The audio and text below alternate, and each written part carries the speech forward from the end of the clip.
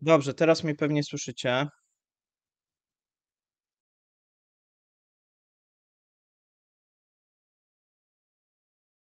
Yy, dobrze, teraz mnie słyszycie. Już widzę, że mi się mikrofon z jakichś względów przełączył. Nie wiem, dlaczego założyłem, że jest w porządku. Eee, Jezus, to będę musiał od początku mówić. Dobrze, słuchajcie, to postaram się to jakoś przyciąć potem. Eee, no ale cały czas przybywało osób, a nie ubywało. Mm, Chociaż na początku chyba jakoś ubyło, ja nie zwróciłem uwagi, myślałem, że to się źle wyświetla. Eee, dobra. E, To jeszcze raz od początku. Słuchajcie, dzisiaj sobie będziemy mówić na temat rosyjskich finansów, a, no i pewnego planu, który powstaje w Rosji, jeżeli chodzi o taki plan ratunkowy. Natomiast sobie zaczniemy od tego, a jak wyglądało przemówienie Putina, które odbyło się na forum ekonomicznym w Petersburgu. Nie będziemy sobie omawiać całego forum, powiemy sobie na temat tego przemówienia. Było kilka ciekawych rzeczy, kilka powiedzmy mniej ciekawych. E, Też będziemy troszeczkę sobie przywoływać to mm, pewne, pewne kluczowe elementy, moim zdaniem, tak, no nie będziemy mówić, nie wiem, o Ładzie, tak, która nie odpaliła, czy jakichś innych rzeczach, natomiast będziemy sobie mówić o tym, co zostało gdzieś głównie w kuluarach uzgodnione, bo to się wiąże z tym naszym głównym tematem. Ale zaczynając, słuchajcie, od tego przemówienia, to tą pierwszą rzeczą, która w naszych mediach się nie przebiła, natomiast w rosyjskich mediach to jest jak gdyby numer jeden, no to zmiana płacy minimalnej. Ta płaca minimalna ma wzrosnąć o 18,5 O, teraz jeszcze mikrofon mi tutaj mówicie, że trzeszczy. Okej.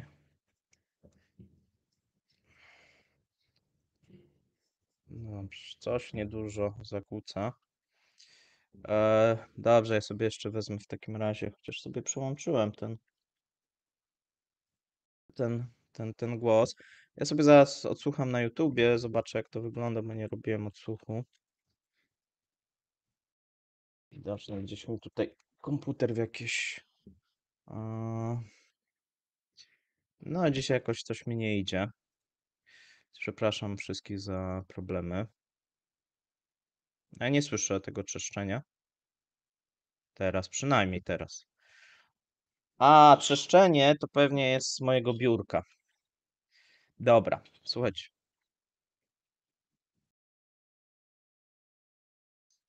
Dobrze.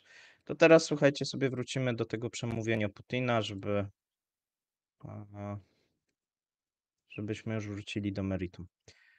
E, Dwie części, tak jak mówiłem, pierwsza część gospodarcza, mówiliśmy sobie, że tą najważniejszą rzeczą jest na ten moment podwyższenie, i to przebiło się w rosyjskich mediach, czyli podwyższenie tej płacy minimalnej. Ta płaca minimalna będzie od stycznia 2024 albo później, tak, bo to też nie było powiedziane, że koniecznie musi być styczeń, ale oni najczęściej indeksują w styczniu, ewentualnie w marcu, bo tam też się czasami w marcu takie indeksacje zdarzają. No więc powiedzmy sobie od przyszłego roku ta płaca ma wzrosnąć 18,5%. Eee, natomiast oczywiście no, Putin i Rosja nie byłaby Rosją, kiedy by nie zapowiedzieli jakiegoś planu na przyszłość i zapowiedzieli, że ta płaca minimalna zostanie zwiększona do roku 2030 dwukrotnie.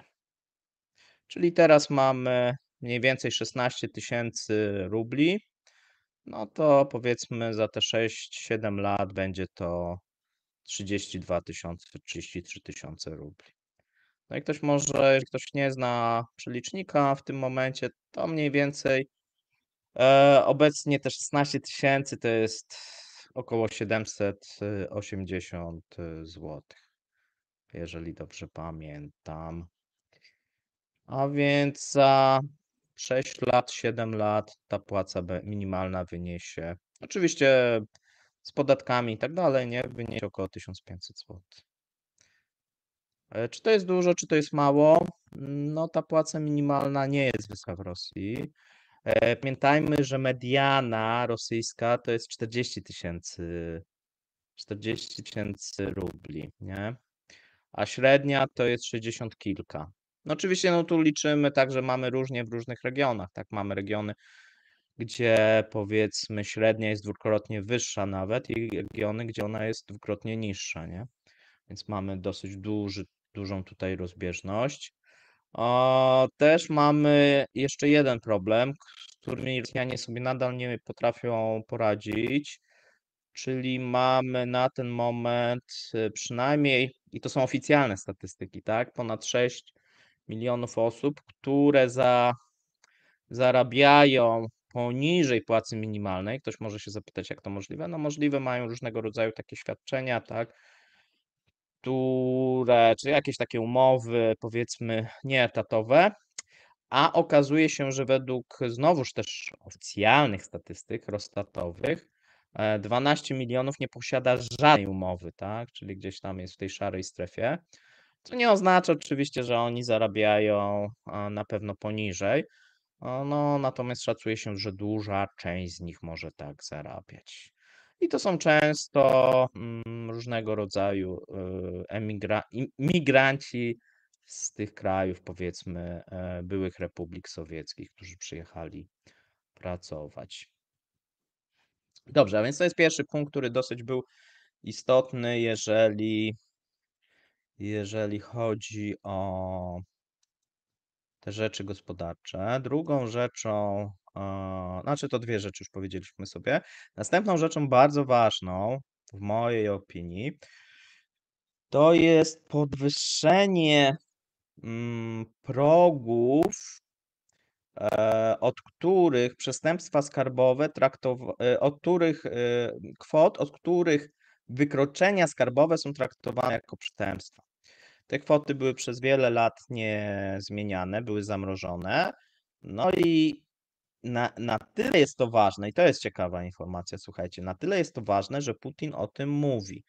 Czyli zaproponował podwojenie tych progów dla poważnych, zwłaszcza dużych szkód majątkowych w ramach szeregu artykułów kryminalnych. No i tu głównie chodzi o właśnie te, te, te rzeczy i te przestęp- przestępstwa w dużej mierze skarbowej.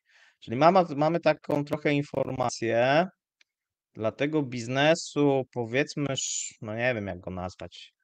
A, no czyli jak popełnisz przestępstwo, no to do jakiejś kwoty to będzie wykroczenie, a powyżej dopiero będzie przestępstwo. No nie wiem, no dziwna informacja jeszcze padająca na forum ekonomicznym z, z ust Putina. Jak dla mnie to jakieś, jakieś nie wiem. E, No ale padło. Padło też wiele innych dziwnych rzeczy. Następna rzecz to ogłosił, że przychody z ropy i gazu. No i tu się pomylił, bo chyba chodziło mu, że przychody spoza ropy i gazu, tak mniej więcej. To tam zostało gdzieś tam wyjaśnione. Czyli przychody spoza ropy i gazu w okresie styczeń-maj wzrosły o 9%. A, I od razu dodał, że w maju ten wskaźnik wzrósł o 28%. E, Natomiast zapomniał dodać, y, że w tym okresie przychody z, właśnie z ropy i gazu spadły o, o 50%. No, a jak gdyby, tak jak wiecie, dokładnie żyje z ropy i gazu. Mówimy tutaj o przychodach e, do budżetu państwa. E, W przypadku przychodów firm e, tak naprawdę nie wiemy, bo nie ma takiej statystyki, a firmy nie muszą publikować i, i w sumie nie wiadomo, jakie są e, sektorowe przychody. Są tam pewne szacunki, tak, z którymi ja się spotkałem, natomiast no, jeszcze jak, jakiś czas temu te informacje były ogólnodostępne, to teraz one są takie wyrywkowe. No, ktoś opublikuje coś, ktoś nie opublikuje, na przykład Gazprom cały czas nie publikuje, nie? Rozniew na przykład za pierwszy kwartał opublikował, ale już za kwiecień i maj na przykład nie opublikował i tak dalej, i tak dalej, tak? Bo oni sobie tam kwartalnie i to tak, i to wtedy, kiedy im to jest wygodnie. Yy, I co ciekawe, on jak gdyby to powiązał, nie, nie, nie wiem jak gdyby jak to się wiąże, bo wielu ekonomistów wskazuje, że ten wzrost, te 9%, ten rządowy, jest nieprawdziwy. Tak, że te wpływy, e, że tych wpływów nie ma, jeżeli się patrzy na system kasowy. One są w systemie memoriałowym, to wydaje się, że to jest taki próba ratowania rządu, e, szczególnie ten maj, mm, wydaje się bardzo podejrzany. To, to, to wielokrotnie o tym z Mateuszem pisaliśmy. E, wydaje się, że to nie jest po prostu prawda, że, że Rosjanie tutaj oszukują. Z jednej strony, z drugiej strony, jeżeli się popatrzy na inflację, która w Rosji jest, no to, to nawet 9%, no to nie, wy, nie wygląda jakoś imponu- imponująco, bo pamiętajmy, że tutaj mówimy o rublach. Natomiast co ciekawe, wydaje się, że Putin wierzy w te wszystkie statystyki. I o tym sobie też dzisiaj będziemy mówić, bo wydaje się, że on w jakiś sposób nakazuje tworzyć te statystyki, czyli mówi, ile ma inflacja w tym roku wynosić, ile ma wzrost gospodarczy wynosić, i potem dostaje te informacje, mówi: A, przewidziałem, no to przewidziałem dobrze. Nie? Czyli tak jak ja na przykład przewiduję, i też mi się wydaje, że dobrze przewiduję, no to on ma podobny efekt, tylko że on wydaje taki, takie rozporządzenie, czy taką sugestię. No i wszyscy, wszyscy się do tego dostosowują. Niestety ja takiej władzy nie mam, bo jeżeli bym miał, to bym pewnie nakazał, żeby zakończyli tą operację, która mm, ich rujnuje. E, No niemniej wygląda również, że mm, to, to jest bardzo ciekawa rzecz, bo mówi, że obecny deficyt budżetowy wiąże się z przesunięciem planowanych wydatków na wcześniejsze terminy. E, Dokonano tego specjalnie w celu zwiększenia tempa realizacji programów państwowych. E, W skrócie, no to są głupoty, tak? Bo, bo to jest, znaczy, to jest nieprawda, tak? No, znaczy, rząd próbuje, mm, to jest jak gdyby mm, ta linia rządu, czyli mówią, że wydatki się zwiększyły, przychody się zmniejszyły, ale wszystko jest planowane. To tak miało być. Tak, to nie jest tak, że to, że oni sobie zaplanowali źle ten deficyt i się pomylili i nie przewidzieli, że te ceny ropy będą niskie. To wszystko tak planowo idzie. Jak się posłucha teraz Misztusina, no to on to samo mówi, tak? A więc tutaj Putin przyjmuje cały czas tą retorykę, którą przyjmuje rząd. Nawet widać, że zarówno rząd, jak i Putin mówi mniej więcej tym samym głosem. Tak, tutaj o tym sobie dzisiaj będziemy mówić. Dosyć istotny jest e, doradca Pu- Putina, tak, e, który jak gdyby bardzo często mówi to, co właśnie Putin chce mówić, czyli Oreszkin, ten, ten pan się nazywa Oreszkin. I Oreszkin bardzo często mówi, co właśnie car powiedział, ewentualnie bardzo często najpierw mówi to Oreszkin, a potem Putin to powtarza. Niemniej, no tutaj akurat mamy taką mm, zbieżność z tym, co mówi rosyjski rząd. Co, co akurat nie zawsze się zdarza, ale tu akurat się zdarza. E, Następną rzeczą, którą Putin e, powiedział, no są dla nas nieistotne rzeczy w Rosji. Częściowo to gdzieś się przebiło, no to są utrzymanie świadczeń wychowawczych, o, I dosyć ciekawa rzecz, rzecz, czyli przyspieszenie powrotu krajowych aktywów biznesowych pod jurysdykcję Rosji. I tutaj mamy ten początek tego, o czym sobie będziemy mówić, czyli e, w pewien sposób to jest taki e, offshoring, który zaczyna się i jest to początek, można powiedzieć, nacjonalizacji albo przejmowania zachodnich,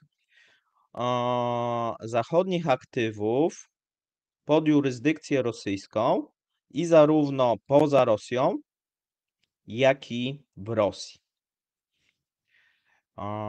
I o tym sobie dzisiaj też powiemy. Druga część, o której dosyć dużo było, i to u nas się chyba mocniej przebiło, no to mm, brak, brak e, sukcesów w ofensywie ukraińskiej. On stwierdził, że nie ma takiej możliwości, żeby siły zbrojne Ukrainy odniosły jakiekolwiek sukcesy. Mm, Dlaczego?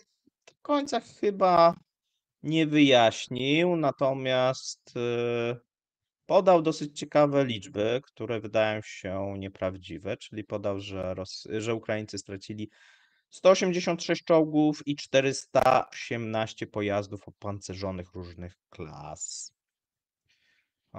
No i tego nikt nie potwierdza, łącznie z rosyjskim ministerstwem. A więc nie wiem skąd te liczby się pojawiły, natomiast no one się w tym przemówieniu pojawiły. Następną rzeczą, którą mówił, a, mówił o Stanach Zjednoczonych, że jeżeli nie rządzi, znaczy byłby inny rząd, domyśle powiedzmy Republikanie czy, czy, czy Trump, no to konflikt na Ukrainie e, by zakończył się pokojem, tak? Czyli zmiana władzy w Stanach Zjednoczonych, ona jak gdyby tak stosuje, e, spowoduje to, że na Ukrainie, w Ukrainie nastąpi pokój. Następną rzeczą, i to była też ciekawa rzecz, to było dotyczące Ukrainy, a najbardziej może gospodarki, mówił, że to przy Stanach Zjednoczonych mówił, że celem w Rosji nigdy nie była i nie jest dedolaryzacja gospodarki światowej, tak jakby Rosja miała tutaj jakieś przełożenie. I następną rzeczą, która chyba najwięcej było, przynajmniej w tych rządowych i w tych propagandowych mediach, natomiast ktoś może mi wyjaśni, bo ja do końca nie rozumiem, jak oni chcą to osiągnąć, mówił o tym, że na Ukrainie powinien zostać utworzony kordon sanitarny, tam e, tego typu wypowiedzi e, wcześniej również miały miejsca z ust e, innych rosyjskich, nie wiem jak ich nazwać, no, mm, powiedzmy dostojników, o może tak, no niemniej one nie mają jakiegoś wielkiego sensu. Co jeszcze mówił? Mówił o tym, że mm, że atak sił ukraińskich e, na region Kurska, Białgorodu oraz na Krem, czyli jakby przyznał, że to, znaczy w jego opinii, że to był atak ukraiński, było próbą sprowokowania Rosji do potężnych działań odwetowych, ale Rosjanie nie dali się sprowokować. No to tak dla mnie to też jest niezrozumiałe, czyli oznacza, że, że co, jak Ukraińcy podejdą dopiero pod Moskwę, to może będą jakieś potężne działania odwetowe, no bo tak to, no to nie ma takiej potrzeby. No i ostatnia rzecz, która chyba się najmocniej gdzieś tam rezonowała, to powiedział, może zacytuję. Moi żydowscy przyjaciele mówią, że Zeleński nie jest Żydem, ale hańbą dla narodu żydowskiego. No, szczerze powiedziawszy, kuriozalna wypowiedź. No i akurat chyba w Izraelu nie stworzy mu przyjaciół. Tak, tak się wydaje.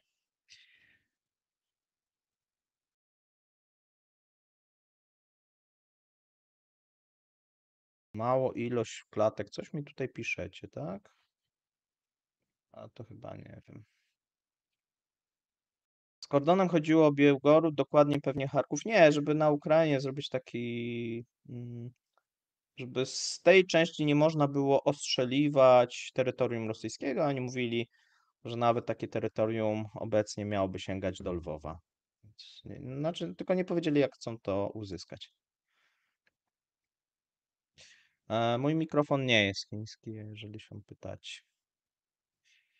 E, Dobrze, mamy teraz 700 osób. Będziemy powoli sobie też odpowiadać na pytania. Ja będę sobie patrzył, o czym czasem trzeszczy mikrofon. No kurczę, ja tego nie słyszę zupełnie, ale możliwe, że tak jest.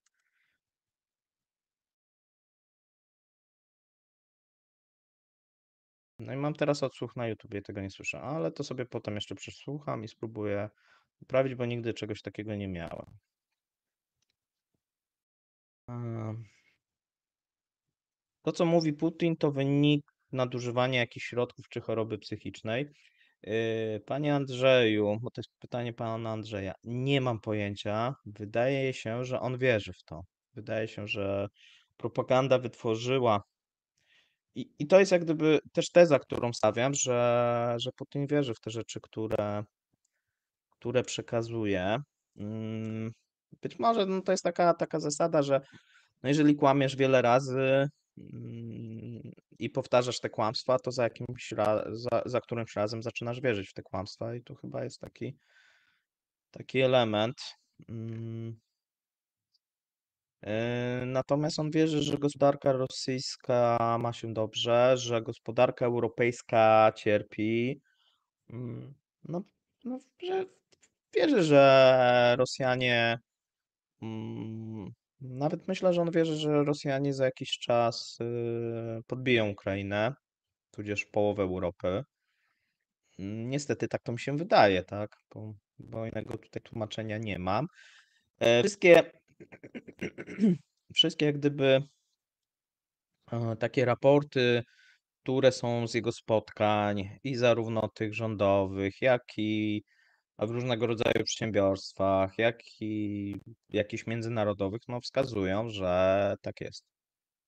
Że te rzeczy, które wydają się absurdalne z naszego punktu widzenia, on w nie wierzy. E, Tutaj, o, pytasz się, że szefowa banku centralnego przekazuje mu informacje o sytuacji. E, No właśnie, tak nie jest do końca, że ona ma dostęp, to leci najczęściej przez Oreszkina. I jeszcze jest druga osoba, do której on ma zaufanie. Bo wbrew pozorom, e, on nie ma takiego silnego zaufania do Nabiuliny. On ma większe zaufanie, oprócz Oreszkina, to jest minister gospodarki i rozwoju.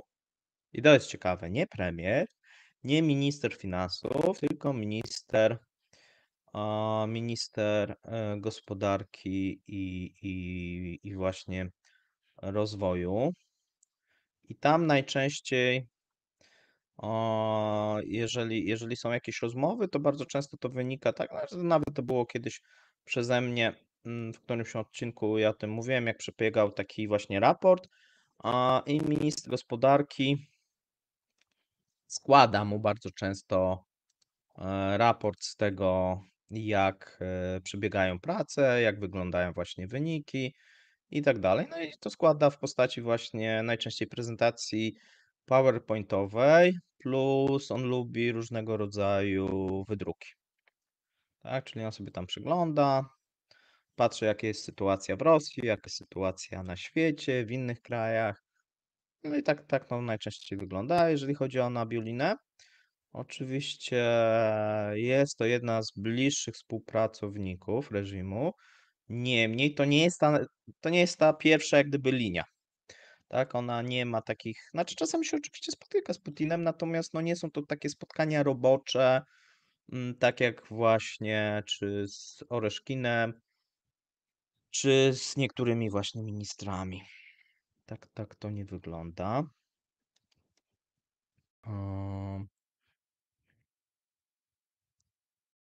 Co jeszcze tutaj warto powiedzieć? A, zanim przejdziemy sobie do tego głównego tematu.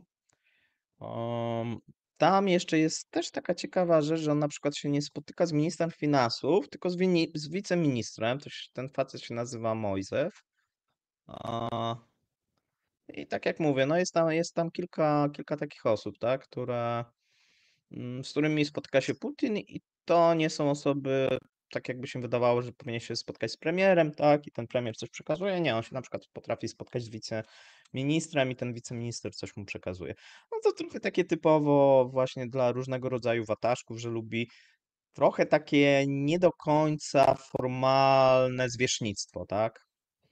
Czyli ma tak zwanych swoich ludzi, zaufanych i ci ludzie w jakimś tam sposób mu donoszą i dzięki temu wydaje mu się, że ta wiedza jest bardziej pogłębiona. Natomiast te osoby, no niestety, e, nie zawsze mu przekazują prawdę, albo inaczej, bardzo często przekazują mu to, co on chce usłyszeć. No i potem mamy taki efekt, jaki, jaki mamy.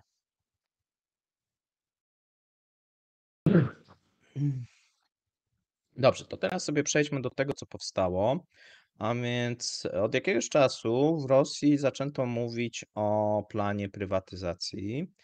I ten plan prywatyzacji ostatnio na spotkaniu właśnie w Petersburgu był po raz kolejny o, dyskutowany. No i tutaj mamy takie, o, można powiedzieć, że mamy taki sojusz, czyli mamy Oreszkina z jednej strony, Nabiulinę, no to jest główne, i częściowo część rządu, która, która jest e, jak gdyby za, za prywatyzacją. Z drugiej strony mamy właśnie Maksima Reszetnikowa, to jest ten minister rozwoju gospodarczego, który troszeczkę ma inne zdanie, ponieważ on nie jest za tym, żeby prywatyzować, albo może nie tylko, tylko żeby powtórzyć ten manewr, który był w 2022 roku, bo on twierdzi, że w 2022 e, to Rosja uniknęła negatywnego scenariusza, takiego recesyjnego, silnie recesyjnego,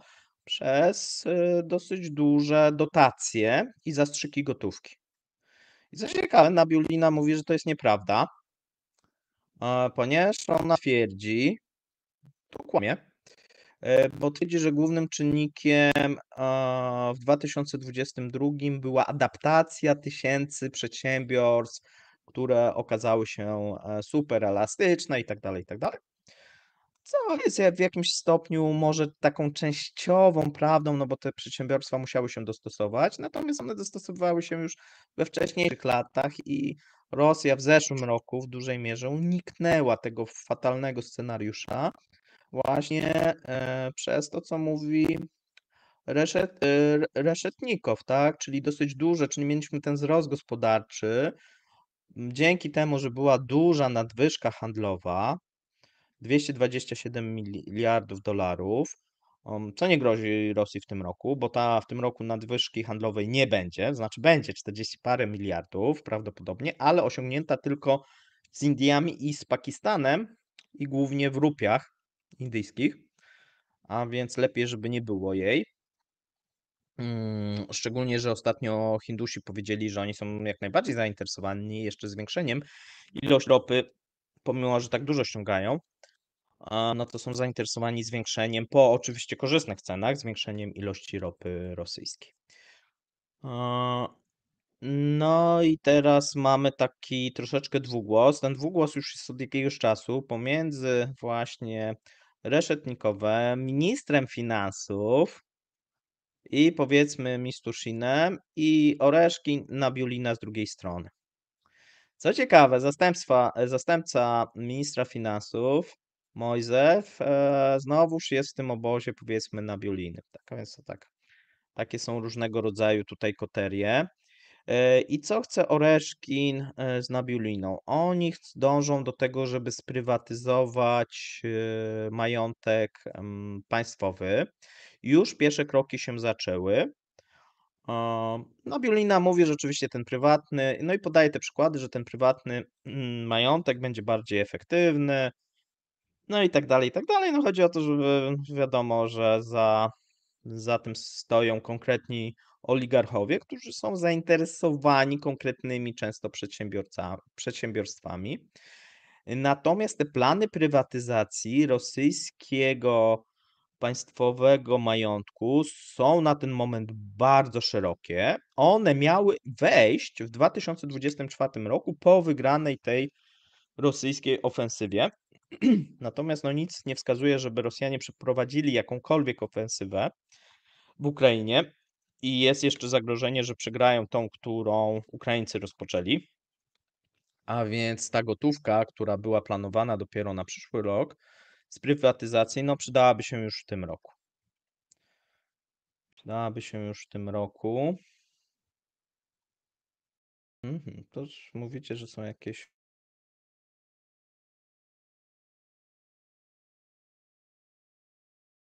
Jeszcze zobaczę, jaki mam tutaj internet.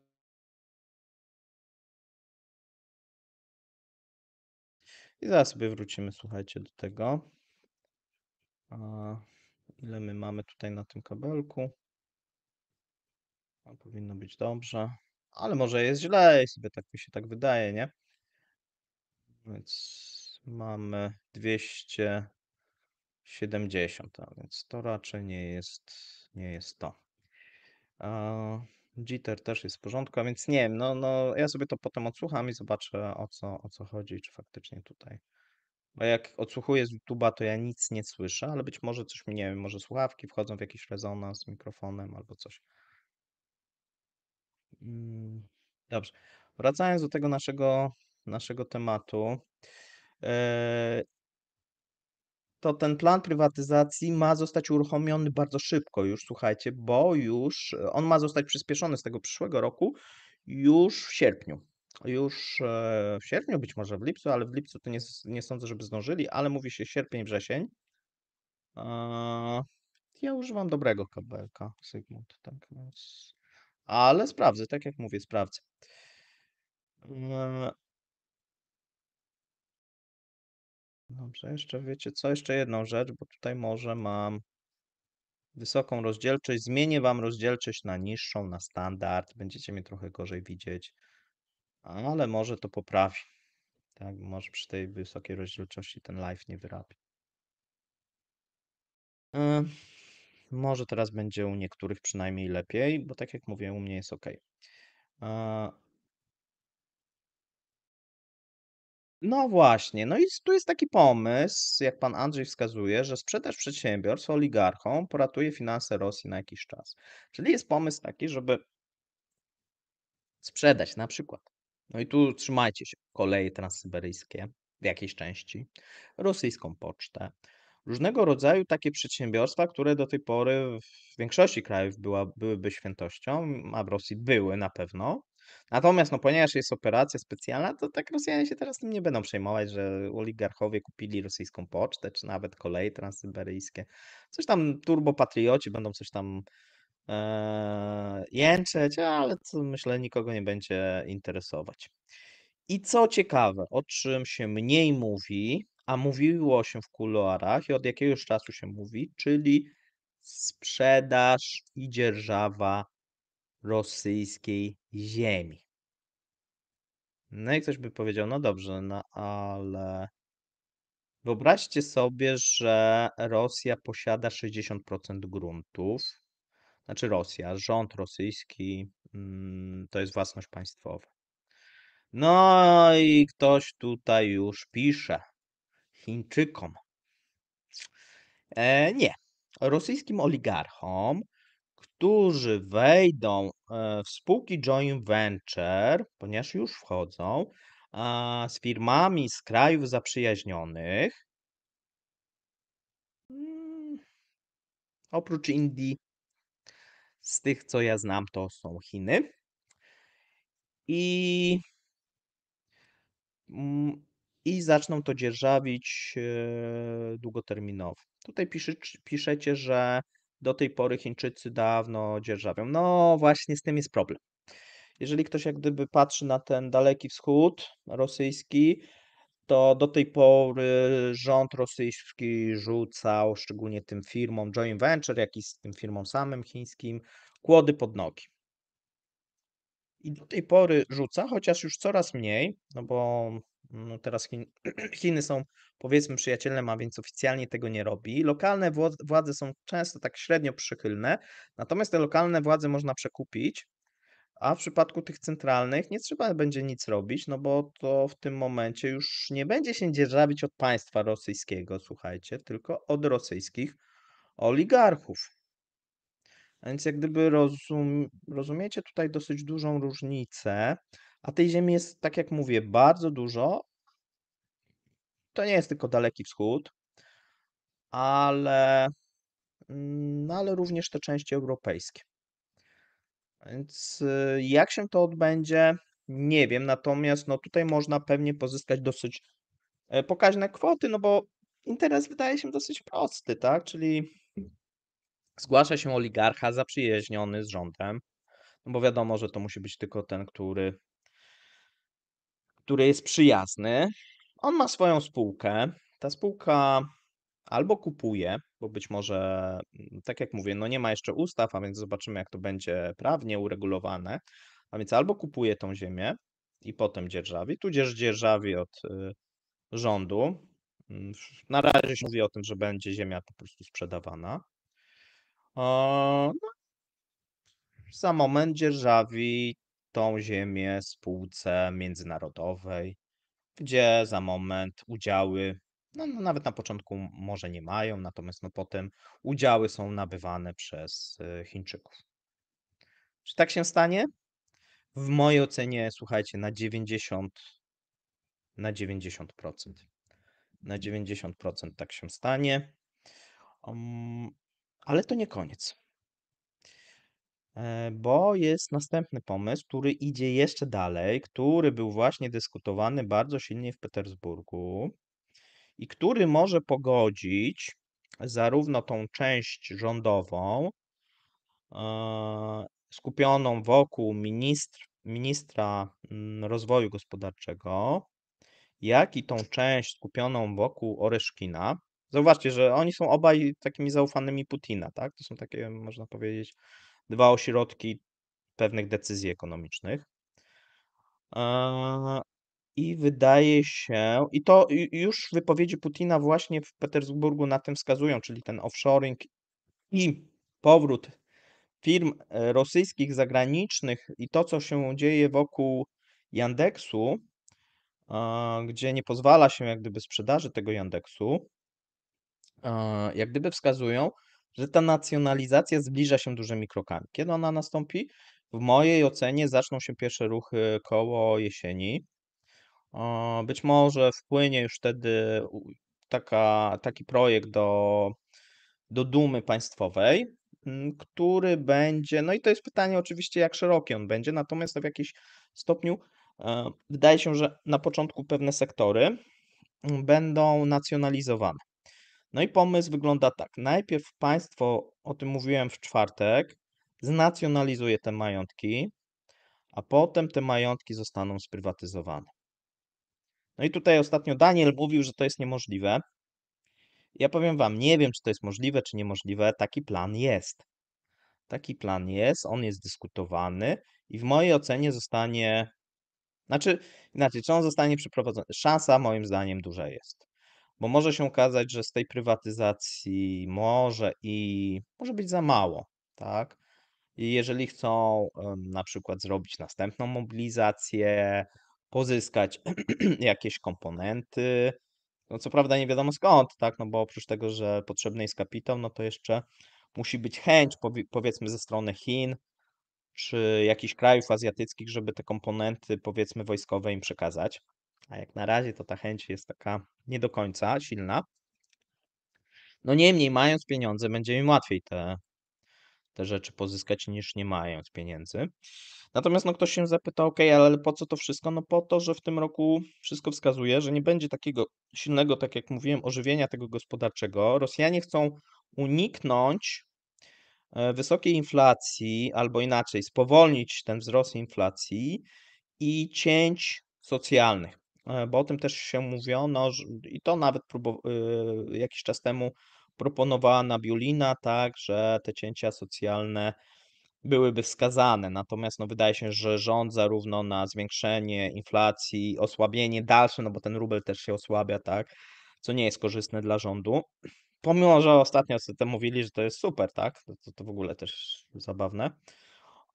Ale wydaje się, że oni się tego mocno obawiają, a więc takie pozyskanie i taki skok na kasę no to daje pół roku, tak. Zresztą o tym mówiliśmy, mm, z Maćkiem e, jakiś czas temu, jak rozmawialiśmy właśnie na temat wieści z Rosji. Mówiłem, że no taki to jest jakieś wyrwanie, czyli ta nacjonalizacja tych zachodnich majątków i sprzedaż.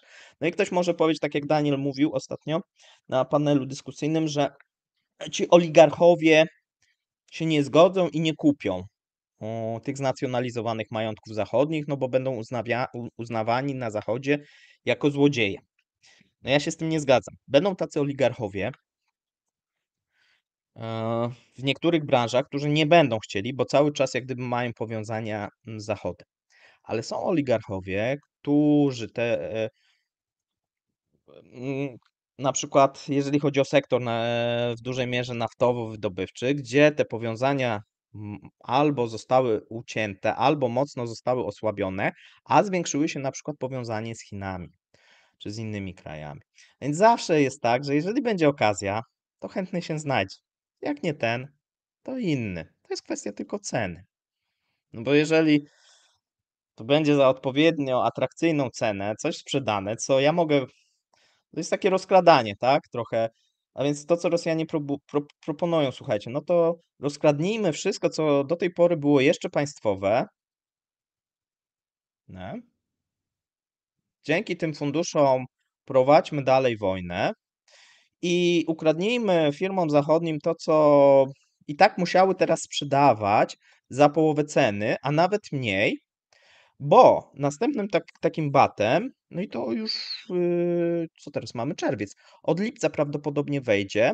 To znaczy rząd rosyjski powiedział, że te 10%, co dostaje od kwoty sprzedaży tego majątku, am, to jest bo bo każda firma zachodnia musi płacić oprócz tego, że to jest komisja specjalna, i musi dostać pozwolenie, no to jeszcze musi, y, zapłacić te 10%, y, do no najczęściej to akurat kupujący płaci, no ale powiedzmy teoretycznie jest to, mm, sprzedający powinien płacić. Mm, po czyli ta firma, która się sprzedaje, powinna zapłacić jeszcze podatek, y, właśnie od tej sprzedaży do do rosyjskiego skarbca. No i rząd rosyjski powiedział, że te 10% to tak mało, trzeba to zwiększyć. Mówi się o 15-20%.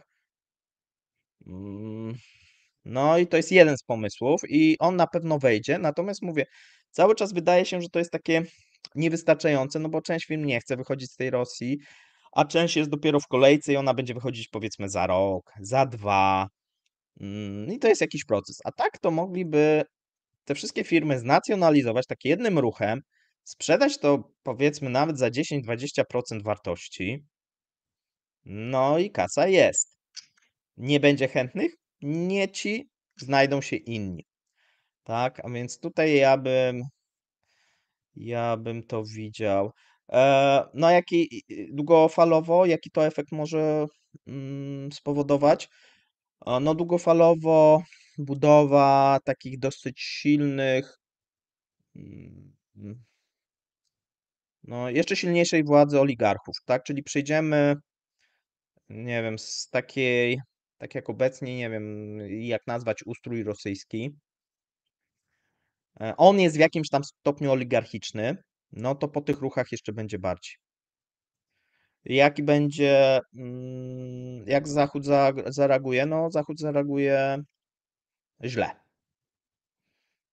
Mm, ale to reżima nie interesuje i jeszcze jest jedna rzecz, która którą Daniel ostatnio właśnie mówił, a z którą się akurat zgadzam.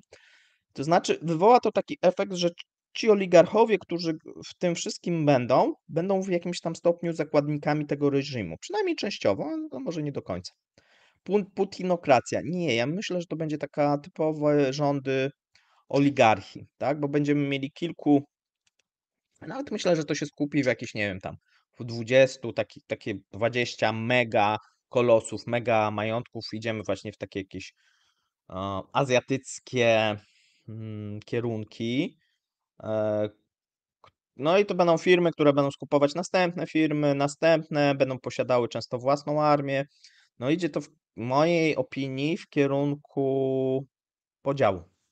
To, co wydawało mi się do tej pory mało realne, to nie znaczy, że to cały czas będzie realne, natomiast zwiększa się scenariusz, e, gdzieś tam rozpadu i podziału Rosji w przyszłości, za kilka lat, tak. Tutaj piszecie warlordowie, no pewnie tak, bo ten majątek trzeba będzie jakoś, y, bronić. Rosja magnacka, latyfundia, no coś takiego, no bo jeżeli teraz będzie jakaś okazja, no to a ja mam kasę jako ten oligarcha, to jak ja nie skorzystam, no to skorzysta ktoś inny. Jeżeli skorzysta, słuchajcie, bo to nie jest tak, że a ja nie będę chciał zadzierać Zachodem, no to ja sobie tam nie skorzystam z tej oferty Putina, no to przyjdzie inny i skorzysta. No jak skorzysta, to może się okazać, że mnie z tego biznesu wyrzuci, a jak ja na przykład nie skorzystam i się nie zgodzę, no to władza może mnie uznać za jakiegoś wroga, nie daj Boże. Nie? A więc no idzie to w taką bardzo niebezpieczną dla świata, wydaje się, w bardzo niebezpieczny kierunek, tak. Klany mafijno-oligarchiczne, tak jak tutaj to przedstawiacie. No na ten moment to jest taki najbardziej prawdopodobny scenariusz, plus jeszcze te wpływy chińskie, no bo kto będzie miał kapitał, e, ten powiedzmy zewnętrzny? No Chiny. No a Chiny będą tak jak w Afryce, tak, oni często wchodzą w różnego rodzaju konszachty, interesy z różnego rodzaju tymi firmami lokalnymi, no i tu będzie podobna sytuacja. Tak, czyli będziemy mieli kapitał chiński, czyli część firm będzie, czy część oligarchów, e, pod silnymi wpływami chińskimi, część będzie powiedzmy tam nie bardziej niezależna, część będzie jakaś tam inna. Mm, no i to tak będzie tak wyglądać. A, czy to się stanie? W mojej ocenie jest to taki jeden ze scenariuszów prawdopodobnych. Oczywiście jest też scenariusz, że następny rząd będzie jakiś ktoś nie dopuści do tego, nastąpi przewrót, e, Putin i ten reżim zostanie odsunięty. I następny rząd będzie gdzieś próbował balansować pomiędzy Zachodem a Chinami, ale bardziej będzie prochińskim, no bo to jest oczywiste. Mm, do tej pory obstawiałem ten scenariusz za bardziej prawdopodobny, natomiast no jeżeli im dłużej reżim będzie się utrzymywał, im dłużej będzie też, e, ten konflikt trwał no to ten scenariusz taki na tych warlordów, e, rosyjskich i rosyjskich wataszków, no jest coraz bardziej prawdopodobny. Dlatego, że no reżim będzie musiał mieć to poparcie, no a tutaj to poparcie kupi. Kupi sprzedając to, co jeszcze ma, czyli zdejmując te majtki, tak, no bo będzie się martwił powiedzmy, no ktoś inny, tak? Tak powiedzmy, to, że teraz sprzeda pocztę, kolej, sprzeda zachodnie korporacje, no to na pół roku, rok wojny może będzie, nie? Yy, tak, no to jest oczywiście takie chwilowe, no bo oczywiście możemy sobie powiedzieć, tak, sprywatyzowane firmy bez e, no już teraz wiemy, że nie będzie subwencji, bo już w Petersburgu zostało powiedziane, że w tym roku żadnych dopłat państwowych nie będzie, bo nie ma kasy. Więc te firmy wszystkie państwo i one muszą sobie radzić samemu, czyli będą jechać na stracie państwowe, a te, które nie chcą jechać na stracie, no to mogą się właśnie wystawić na sprzedaż i będą sprzedawane. Czyli oni jeszcze chcą i tutaj mówi Nabiulina, Oreszkin i nawet rząd mówi, e, wspólnym głosem, że firmy, które przynoszą stratę, będą w pierwszej kolejności prywatyzowane. Czyli żeby obciąć stratę i jeszcze może coś na tym zarobić. Cool. A że 1/3 w 2022 roku firm z udziałem państwowym przynosiła stratę, hmm. No to mamy ciekawą sytuację. No więc słuchajcie, wydaje się, że no to jest jakiś tam pomysł, no bo drugim pomysłem jest zabranie oczywiście, na którym ja optowałem, że że oni bardziej pójdą w tym kierunku, czyli dewaluacja rubla, mm, druk pieniądza i zabranie po prostu ludziom te tych tych w podatkach, nie w podatkach tych pieniędzy, y, ty ty ten. W jakimś stopniu to może nastąpić, natomiast no tu mamy taką możliwość dopływu przez tą nacjonalizację i prywatyzację od razu. Mm, szansa jest duża. Znaczy, prywatyzacja to jest chyba już nawet przesądzone. Z tą nacjonalizacją jest tylko pytanie, jak ona szeroka będzie, bo że ona będzie, to też jest chyba przesądzone, natomiast są różne głosy, żeby no bo są takie, żeby wszystkie takie, jeżeli, e, ktoś jest bo oni mają taką listę krajów nieprzyjaznych. Jak ktoś jest na tej liście, no to wtedy tych te majątki zostaną zabrane, a to może, y, przyspieszyć, dlatego że Unia Europejska, e, tutaj ECB stanęło troszeczkę na drodze, bo jak gdyby odradza, e, Parlamentowi i Komisji Europejskiej, natomiast no już się zaczęły pierwsze ruchy, żeby nie tylko zamrażać tak jak do tej pory, ale, mm, konfiskować ten majątek rosyjski na Zachodzie. No to wydaje się, że jak oni zaczną nacjonalizować i zabierać ten majątek zachodni no to będą mieli też taki pretekst, powiedzą: „A, no ale przecież wy zamroziliście, skonfiskowaliście w Europie, no to musieliście się z tym liczyć, nie?” Więc a więc tak to słuchajcie wygląda. Dzisiaj jest pomysł, żeby ten troszeczkę live był krótszy. Yy, zobaczymy jak to wyjdzie, a więc tak jeszcze z tych tematów myślę, że to tyle. Mamy w tym momencie około 1000 czekam, że będzie 1000 osób za moment, brakuje nam chyba 5. Eee, taka jedna uwaga, prośba, jeżeli ktoś do tej pory nie subskrybuje kanału, a ma taką ochotę, to przypominam, że jest taka możliwość, wystarczy kliknąć subskrypcję. Jeżeli komuś się podoba i chce, żebym w przyszłości nadawał, to również prośba o to, żeby lajkować. Mm, jeżeli ktoś ma ochotę na wspieranie kanału, to są takie 3 możliwości na ten moment. Patronite i tam powinna być tam prosiliście opcję, jeszcze jej nie wrzuciłem, chyba jakąś taką najniższą 10 zł, ja to dorzucę, jeżeli ktoś ma taką ochotę, potrzebę. Druga opcja, no to jest tam Buy Coffee i trzecia opcja to jest ten donate YouTube'owy. Tym momencie nie ma reklam, bo te reklamy są wyłączone, tak jak zresztą Wam mówiłem jakiś czas temu. One pewnie w przyszłym mi- miesiącu się pojawią. Dlaczego? Dlatego, że obawiam się, że, że YouTube zacznie mnie dosyć mocno obcinać, jeżeli chodzi o zasięgi. Zobaczymy, jak to będzie wyglądać. Mm. Dobrze, tutaj piszecie różne rzeczy, widzę na czacie, zaraz sobie do nich przejdziemy. Piszecie, że oligarchowie mogą skorzystać z nacjonalizacji, a potem po upadku. Mm. Powiem tak, w mojej ocenie na tej nacjonalizacji oligarchowie nie będą stratni. Bo tak jak mówię, jeżeli będzie sytuacja taka, że Europa e, skonfiskuje majątek, co jest bardzo prawdopodobne, Rosja też skonfiskuje, to po jakimś czasie ktoś powie, no okej, tutaj się posprzeczaliśmy, no ale biznes jest biznes, to może wróćmy i jakieś będą różnego rodzaju próby naprawienia tej sytuacji za kilka lat. Oligarchowie w tym czasie myślę, że nie będą stratni. E, Natomiast no, wydaje się, że kto może być na tym najbardziej mm, największym zwycięzcą? Chiny. Niewątpliwie Chiny mogą tutaj na tym, na tym wygrać, tak? O, Daniel jest z nami. Jak chcesz, Danielu, to możesz dołączyć. Możesz na żywo nadać, bo masz, masz linka. Wysłałem na Twitterze, na grupie. E, Pawle, dla tego PMC został wyłączony, y, został wło- tak.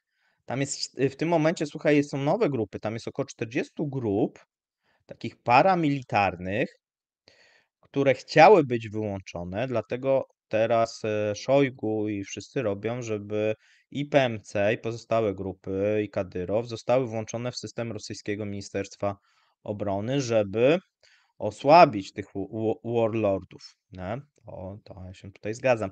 No niemniej, no tutaj się liczy kasa. Jeżeli za tymi e, pójdzie jakaś kasa, oligarchowie, może się okazać, że każdy będzie miał swoją podczas wojny, po wojnie, jak ona się zakończy, jakąś swoją grupę. I te paramilitarne, mm, powiedzmy, e, te, te, te paramilitarne jednostki nie rozwiążą się, tak? No, przejdą, będą to tak jak teraz mamy jakieś jednostki Gazpromu, czy właśnie PMC, no to one będą miały jakiś tam powód, żeby cały czas utrzymywać e, te grupy właśnie uzbrojone. Więc ja bym to tak widział.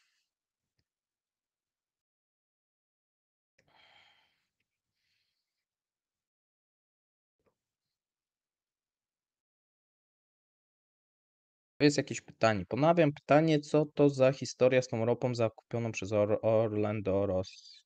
Od Rosji dla Czech. Nie wiem, no dla Czech leci głównie. e, głównie leci ropa z Rosji na ten moment. e, w odróżnieniu od gazu, no bo z gazu jak gdyby Czesi zeszli. Więc często jest, jeżeli mamy tam dostawy, no to często jest to rosyjska ropa. Podobnie jest ze Słowacją, z Węgrami. mm, no Jest kilka krajów, które na ten moment e, mają dostawy przez południową nitkę e, drużby i to jest rosyjska ropa. Ale mówi się o tym, żeby w tym roku, i są też takie pomysły, żeby Unia Europejska mm, zakazała ropy ru- rurociągowej. No oczywiście Węgry i Austriacy są przeciwni, mm, no ale zobaczymy, bo ostatnio Węgrzy nie mają dobrej pasy w Unii Europejskiej, tak jak wiecie.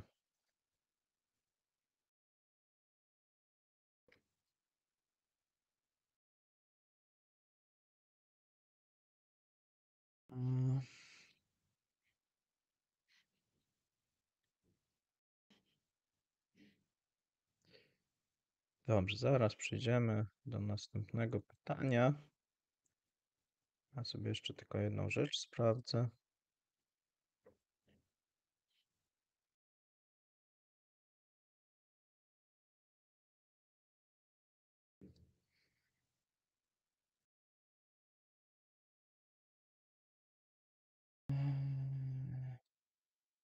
Dobra. Co tam jeszcze tutaj mamy? Słuchajcie. Mobilizacja. No mobilizacja mówiłem, że ona jest konieczna, e, bo nie mówiliśmy sobie dzisiaj na temat e, frontu ukraińskiego. Mm, Ja w zeszłym tygodniu na ten temat mówiłem. A dlaczego sobie to nie mówiliśmy? Bo w tym momencie jest przerwa. Ukraińcy, mm, jakby kol, jakkolwiek by to by nie zabrzmiało, przegrupowują się i przygotowują się do następnej fazy.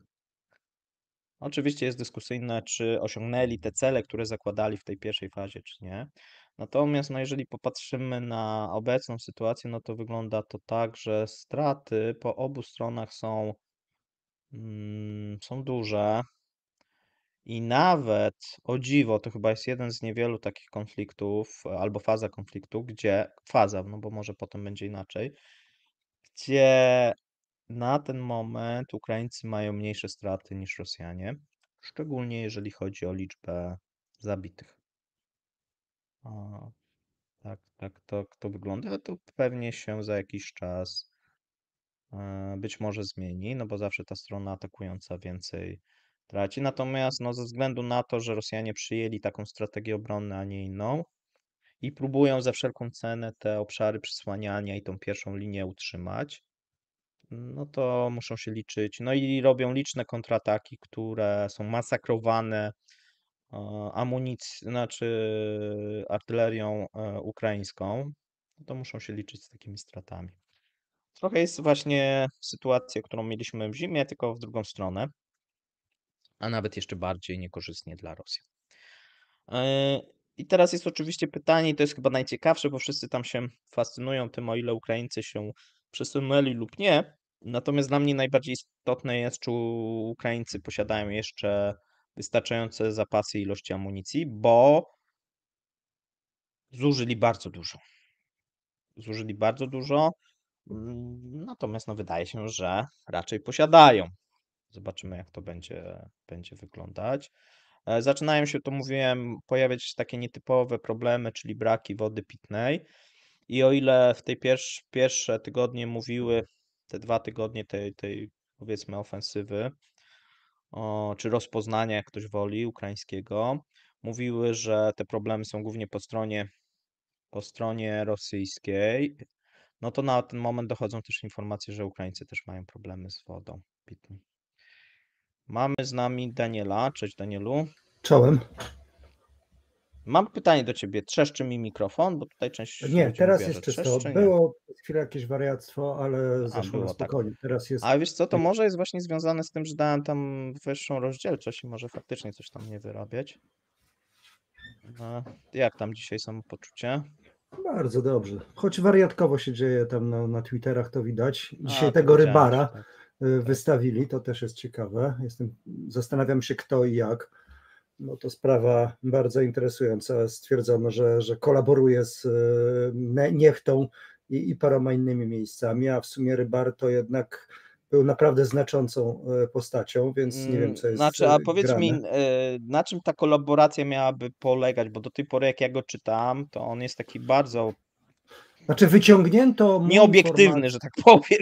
Tak, nie, wyciągnięto mu informację, że y, jest w stałym kontakcie z y, częścią ukraińskich y, analityków, gdzieś tam podobno w ramach rozmowy, że mm, w jakiś tam sposób kontaktuje się z niechtą i, i tak dalej. A więc tak naprawdę, że działa na dwie strony. Bardzo dziwna sprawa, bardzo dziwny dziwne. e, materiał i do końca nie wiadomo o co biega, no ale e, zaraz po tym spotkaniu u mm, całych tych analityków wojskowych, e, prawda, u Putina, wyciągnięcie tej kwestii Rybara jest bardzo interesujące. Może ktoś go chce po prostu zdjąć z piedestału, no bo on jednak nie tylko kanały obskakiwał, przecież ma Twittera, ma tę wersję mm, angielską, ma wersję rosyjską, no był takim dosyć znaczącym, y, powiedzmy, głosem kremlowskim w naszym domu. No tak, ale tam jest też kilku takich powiązanych, nie wiem, ten Romanow, tak, nie wiem, czy dobrze pamiętam. Nie no, to widać wyraźnie, że, że się chyba tam... trochę inna parafia, no ale oni podobnie, i Romanow, Nie no, wszyscy lecą tak samo. pisali, To, to tak. tutaj jak się, jak się wrzuci, jak się wrzuci telegram i popatrzysz, no to ta cała wierchuszka jest dokładnie identyczna. Dopiero jak tam y, są te mniejsze tam y, Kocionok czasami jest troszkę, mm, udaje przynajmniej trochę bardziej obiektywnego. E, jest tam jeszcze mm, parę innych e, takich, e, paru innych takich osobników przy mniejszych mm, powiedzmy odsłonach, którzy starają się coś jeszcze wrzucić poza oficjalną propagandą, ale oni też jak tylko cała ta górna ekipa coś wrzuci, bo dostanie polecenie, no to to mocno powielają, żeby, żeby szło w Mm. sieć. No, takim ciekawym osobnikiem jest, takim ciekawym też kanałem jest, e, e, jest kanał, e, zaraz jak on się nazywa, żeby nie skłamać, ja go rozpracowywałem swego czasu, Mhm. to jest kanał Jakowa Kedmi. On no. chodzi, on, tra, on chodzi mocno na, na mm, Telegramie. Natomiast no, Kedmi to jest ciekawy przypadek, dlatego że to na pewno nie są kanały prowadzone przez Kedmiego. E, jak, to jest e, przecież, znaczy to jest taki kremlowski też e, głos, z tym, że kremlowski głos z Izraela. Facet, który Mhm. wyemigrował z Rosji, facet, który odpowiadał bezpośrednio za operację Most między innymi, przez co dosyć aktywnie także działał Znaczy, na kierunku przypomnij, bo polskim. może nie każdy tam kojarzy, tak? Czyli Jakow. Kedmi to jest, e, Mhm. to jest e, ciekawa postać, osoba, która zbuntowała się, że nie pójdzie do Armii Czerwonej, e, która odmówiła pójścia do armii, wyemigrował za, e, z Federacji Rosyjskiej, co w ogóle jest e, bardzo dużą ciekawostką. Potem mm, Kedmi osiadł w Izraelu, brał udział e, przynajmniej w dwóch wojnach e, izraelsko-arabskich, między innymi w jednym z batalionów czołgów, gdzie, mm, o ile pamiętam, z Netanyahu między innymi miał przyjemność walczyć. Później, prawda, powiedzmy, odpowiadał za most. Most to jest rosyjska operacja, wywiezie, znaczy to jest izraelska operacja wywiezienia przez Polskę Żydów z Izraela. Ta masa Żydów, która jest w Izraelu, z, pojawiła się tam właśnie też w ramach operacji Most, która e, ta operacja szła przez Polskę. E, Przez co Kedmi e, tutaj w jakiś sposób zapewne dosyć aktywnie działał. Natomiast aktualnie Kedmi to jest taki e, izraelski, rosyjski głos. To jest facet, który jest ostro antypolski. To jest gość, który bywa na wszystkich e, ważniejszych kanałach e, u Sołowiowa i całej reszty, który generalnie e, jest takim militarnym analitykiem, tylko jedynie słusznym. On e, pod jego, że tak powiem, sztandarem Rosjanie prowadzili kilka operacji dezinformacyjnych. No i na Telegramie między innymi jest e, kanał Jakowa Kedmi, który na pewno nie jest e, i nigdy nie był robiony przez niego. E, Natomiast też taki, który powiela różne rzeczy. I takich, takich cudów jest sporo, i tutaj musimy przyznać, że, że trzeba też ostrożnie do tych rzeczywiście analityków podchodzić, bo zdarzają się przypadki, kiedy to jest kompletnie inna osoba niż w rzeczywistości, lub kanały są wykorzystywane, bo zostały utworzone. Także tu oczywiście ci, ci najwyżsi są wiadomi, ci tylu, takie jak Rybar i cała reszta, no ale ta mniejsza, e, mniejszy ten plankton e, już, e, już chyba nie jest aż tak, że tak powiem, na rozkaz, chociaż też jak znam życie i realia tamtejsze, to nie podskoczył. Ale warto, warto czasami Wiesz co, bo właśnie tu tak czytam, sobie teraz spojrzałem, że ten Andrzej Miedwiediew, to nie, nie Tak. ten, ten, właśnie pisał o tym, że o tym rybarze, tylko on tu pisze, że to nie, mm, że, że to ten kanał e, ukraiński Trucha. Dobrze A mówię? z truchą? Okej. Tak, że z Truchą, nie?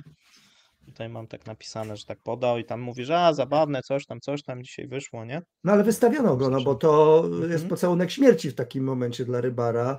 E, Mimo wszystko ciekawe, co, co się będzie działo. No to, to być może jest też e, moment, który e, widzimy, czyli jakiegoś, e, jakiegoś takiego próby takiej kontroli nałożenia określonego kagańca na e, całą tą ekipę korespondentów wojennych. To jest E, jakieś mniej- pytanie do ciebie, jeszcze od Luisa, o Johna Millera. Ja nie wiem, który to jest. Nie chyba. kojarzę gościa kompletnie, Mm, musiałem to Luis zobaczyć. napisał, o kogo chodzi, bo ja teraz nie kojarzę go, ale może ten. Eee, No okej. Y, Tam słuchałeś wcześniej, bo tam e, widziałem, tak, że, że pisałeś o czym, o czym e, dzisiaj mniej więcej mówiliśmy, bo też, też mówiłem na temat tego przemówienia Putina. No i jak gdyby i ten offshoring, i te rzeczy, tak, no to idzie w stronę tej prywatyzacji. Zobaczymy, co z tymi majątkami zachodnimi. Natomiast ja jeszcze dzisiaj mówiłem jedną rzecz, o której chyba w czwartek nie mówiliśmy, że wiesz, że takim zapalnikiem do tej nacjonalizacji może się okazać e, to przejęcie tych rosyjskich aktywów w Europie. No tak, Że tylko wiesz, oni tak, będą musieli jakoś odpowiedzieć i wiesz, i wtedy może to paść na taki tylko, podatny tylko grunt. ja nie widzę szansy na to, by te rosyjskie aktywa zostały przejęte. Zamrożone No, są. one Belgowie mogą- już, po, już przekazali, już powiedzieli, że przekazują. No tak, ale. Mhm. te, ale zasada jest prosta. Każdy kraj musi uchwalić odpowiednie ustawy do tego, by w jakiś sposób można było to zarekwirować. Większość Mhm. krajów nie ma e, stosownych e, ustaw, stąd jedyne, co się udało rzeczywiście Unii zrobić, no to zamrozić te środki na, no tak naprawdę na długo, no bo to Unia uzna, kiedy, kiedy Rosja nie jest agresorem, E, Więc e, widać wyraźnie, że to może potrwać. E, I jakoś tak nie bardzo widzę, że Unia zdecyduje się na to, no bo tak naprawdę to też jest kwestia mm, nie tylko Rosji, ale też wiarygodności wielu innych e, instytucji. No, po prostu pokazanie, że możemy w taki sposób zmienić prawo, no powoduje, że różne lewa kasa, która czasami y, państwom jest potrzebna lub którą się ukrywa w państwach, nie wpłynie. E, Więc no, jestem ciekaw, czy, czy, czy kiedykolwiek rzeczywiście zobaczymy sytuację, w której te rosyjskie środki skonfiskowane pójdą e, na Ukrainę. Ja jestem na razie sceptyczny, jeżeli chodzi o dużą skalę. Prawdopodobnie No, bardziej będzie to e, element e, nacisku, ewentualnie element, i to jest o wiele ciekawsze, wiesz, bo co to może być? To będzie po prostu zabezpieczenie roszczeń wobec Federacji Rosyjskiej z racji kwestii e, zerwanych kontraktów i wielu Gazociągów, to na pewno. To, to na Tak. pewno. Tutaj I tym akurat bardziej nie będą pewny, tego oddawać komuś, skoro będą chcieli Bo sami. akurat takie wiesz, jeżeli masz e, w tym momencie sprawę i ta sprawa zostanie wygrana, no to ten majątek na przykład tej firmy lub e, podmiotu, znaczy ogólnie tych podmiotów rosyjskich może być leg- na legalnie, tak? E, Tak, skonfis- dokładnie. Wtedy, wtedy skonfiskowany, tak? Tu nie potrzebujesz jakiejś, wiesz, specjalnej, tak? Tylko po prostu jesteś dłużnikiem, a więc no majątek dłużnika, tak, zostanie i to wiesz, wtedy na przykład wystarczy, że będzie w Niemczech mm, jakiś wyrok, a na przykład Gazprom posiada jeszcze jakieś tam aktywa, powiedzmy na przykład w Austrii, To i tak na legalu oni te aktywa w zająć, Austrii no. wtedy przejmą, nie? Tak.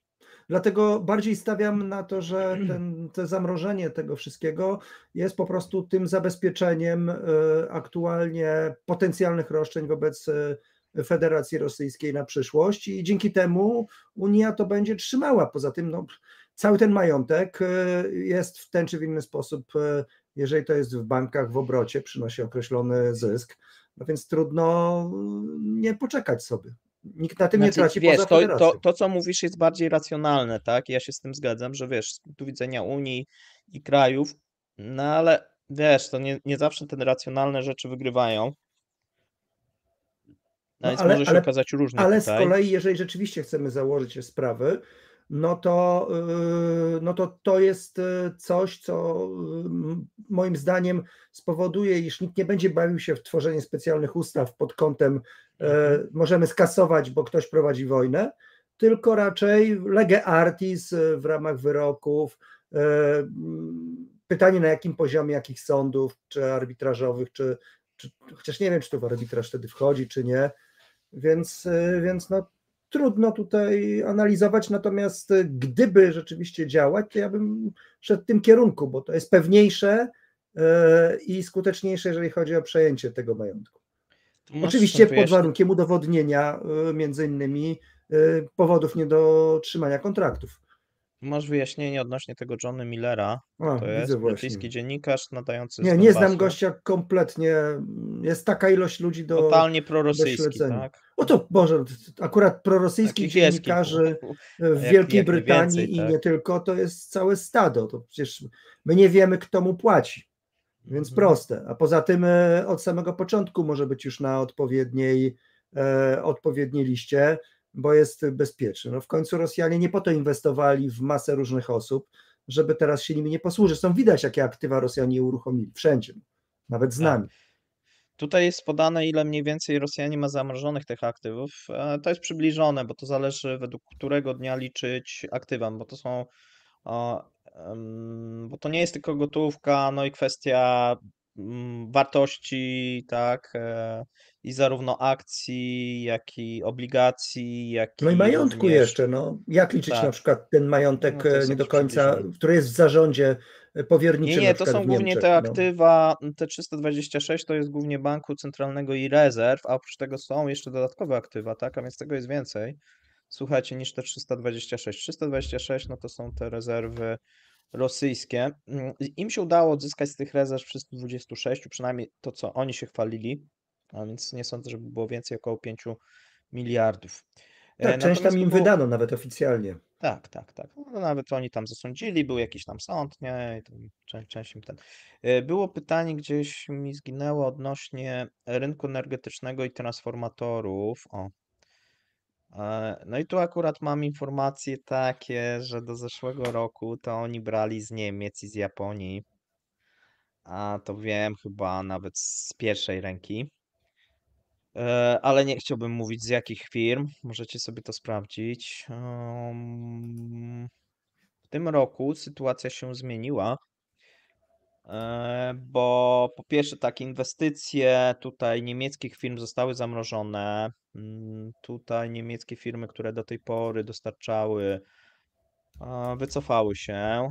A jeżeli chodzi o Japończyków, no to sytuacja się tak naprawdę zmieniła bodajże od marca, bo oni zrobili takiego pivota a, w tym zakresie. Jeszcze coś tam idzie, e, jeżeli chodzi o ten rynek, mm, powiedzmy japońsko-europejski. Tutaj mamy kilka takich y, dużych dostawców, natomiast no teraz się będą musieli przestawić na, na, na Chiny prawdopodobnie. Nie wiem. Wydaje się to jakoś mega trudne też e, na ten moment, tak? Bo to jest dosyć specyficzna też branża. E, No i tak to, tak to wygląda. Tak, tutaj pisze ktoś, że tak, podałeś gotówce i papiery wartościowe. Dokładnie tak. Mhm. To mniej więcej tak, tak to wyglądało. To są, to zostało w Euroclearze, tak, i w tych innych po, pozamrażane. To było mniej więcej 326 i to zarówno Europa, jak i Stany Zjednoczone. Natomiast tych y, takich jakichś majątków, e, można powiedzieć, trwałych, no tego jest więcej, tak? No bo nawet sam Gazprom, zobaczcie, miał, miał magazyny, ileś tam firm też było inne, y, ich, tak, to zostało de facto częściowo, zobacz, że częściowo zostało znacjonalizowane. Znaczy, mówimy, one że są w nie, zarządach powierniczych, tam część jest ale, przejęta ze względu ale na ten. część jest Tak, przejęta. tam Niemcy wprowadzili tą ustawę o A, bezpieczeństwie. a więc wiesz, tu może tak, wiesz, ja bym tak tego, tak, do, no, no bo No tu już tak, jest tylko mnie kwestia też, interesuje teraz ta gra ale, ale Rosjanie też drugą stronę tego, że Polacy zrobili. wysadzili te wszystkie te, bo to jest strasznie ostro teraz idzie to, ta odpowiedzialność Polski za, za, za Znaczy, że my z Ukraińcami, to tak mniej więcej jest, Tak, tak. no. Mhm.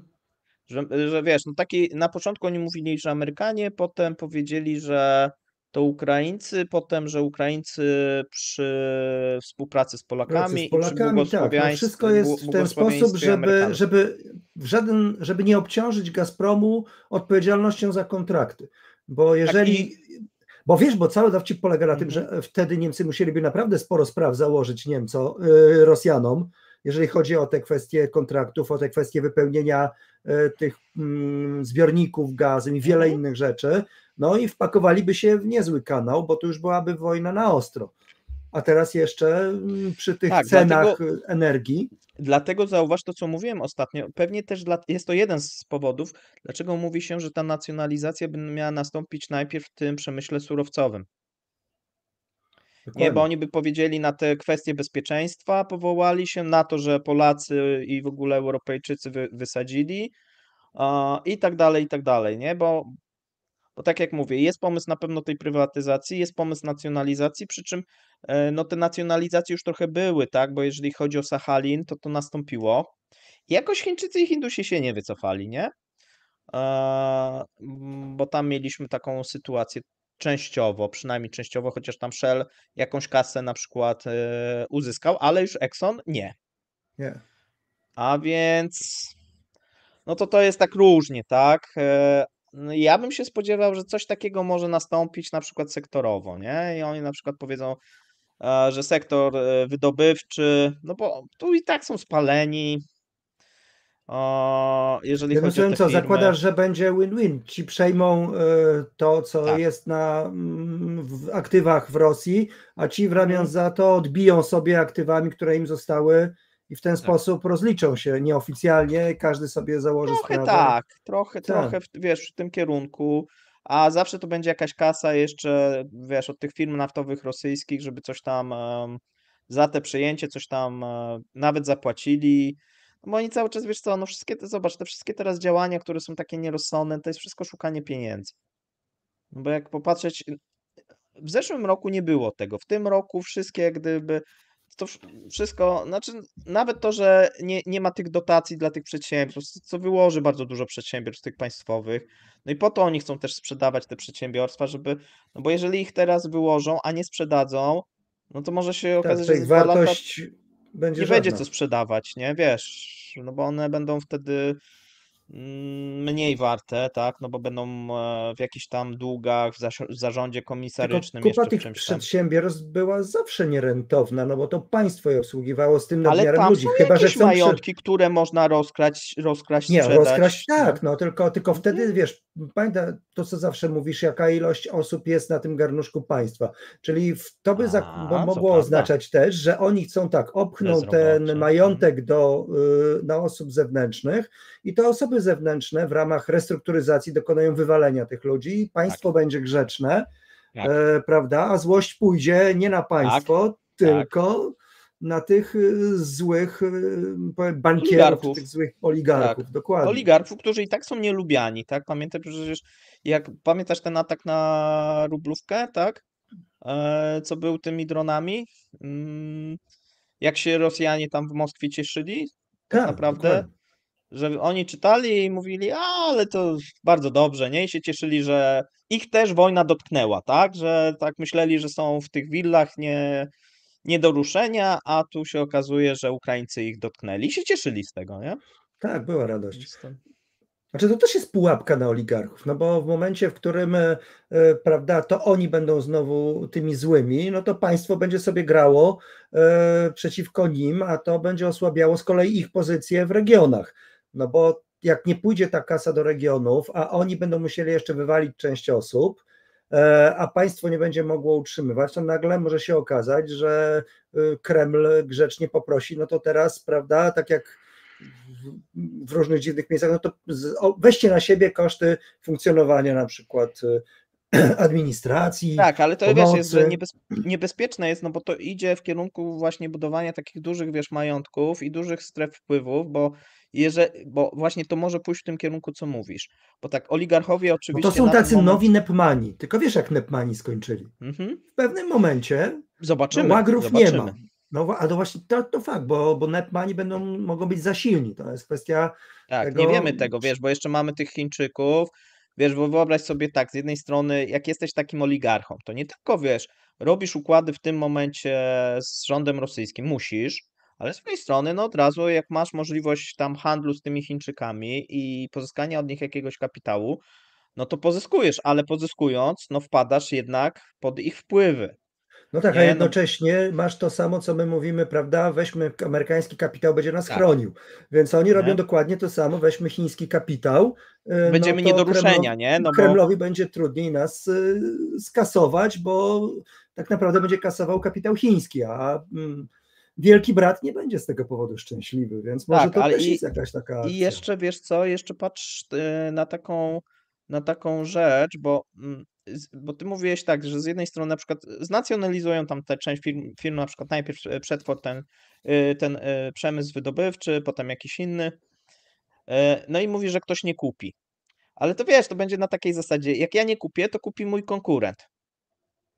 Nie? Nie no, zgoda. Mi chodziło, wiesz, o co innego. Wiesz, o to, co chodzi, że, tak? Że, że to jest, e, Ja mówiłem, że problem z kupieniem jest taki, iż e, no, oni to nie są idioci. I oni doskonale wiedzą, co oznacza w niektórych przypadkach taki zakup. Że to jest e, prawie w stylu kup sobie cykutę.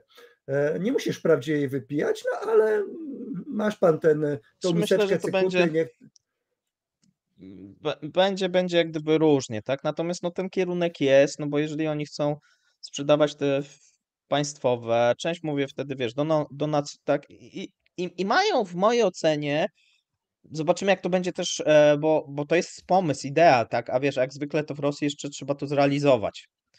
A tu realiz- No z tak, realizacją no. może być różnie, wbrew pozorom, nawet jak jest świetny pomysł, bo może się okazać, że o, no, że coś stanie, wiesz, na drodze, tak? O, No i nie wiem, z jakichś tam przyczyn właśnie ci oligarchowie nie będą chętni, tudzież ta nacjonalizacja nie pójdzie tak jak trzeba, tudzież system informatyczny, tak jak mieli do tej pory, że puścili na przykład ten system do przetargów i on im się tam zsypał, tak jak problem też mieli z tym jednolitym rachunkiem bankowym, że mamy teraz czerwiec, a oni nie mają e, poprawnej identyfikacji regionu do rachunku, czyli Czyli nie wiadomo, znaczy wiesz, no nie Gdzie mają, przelać no pieniądze, nie tak? No nie No. muszą przelewać dzięki temu. Znaczy wiesz, jest- oczywiście regiony twierdzą, że to tam ściema jest, nie? Ale No oczywiście, że tak. no ale wiesz, bo niektóre mają regiony, a niektóre nie mają. I to tylko w niektórych są problemy z tymi przelewami tych, a w niektórych nie ma, tak? A więc to tak wybiórczo To te, na, te to na mubików się przelicza. Zapewne. No, a więc no dosyć, dosyć zabawnie. O, tutaj jest ten, jakiś mecz teraz, coś piszecie, tak? 1-0 dla Albanii. Nie wiem, jaki mecz jest, ale Też okej. wiem. To zaraz nam, napiszecie pewnie. No i tak to, tak to słuchaj wygląda.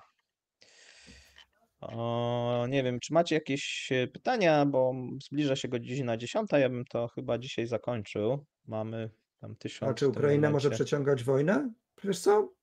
Może. Tylko kwestia jest jednego. E, koszty wojny to nie jest koszt sprzętu, tylko koszt ludzi.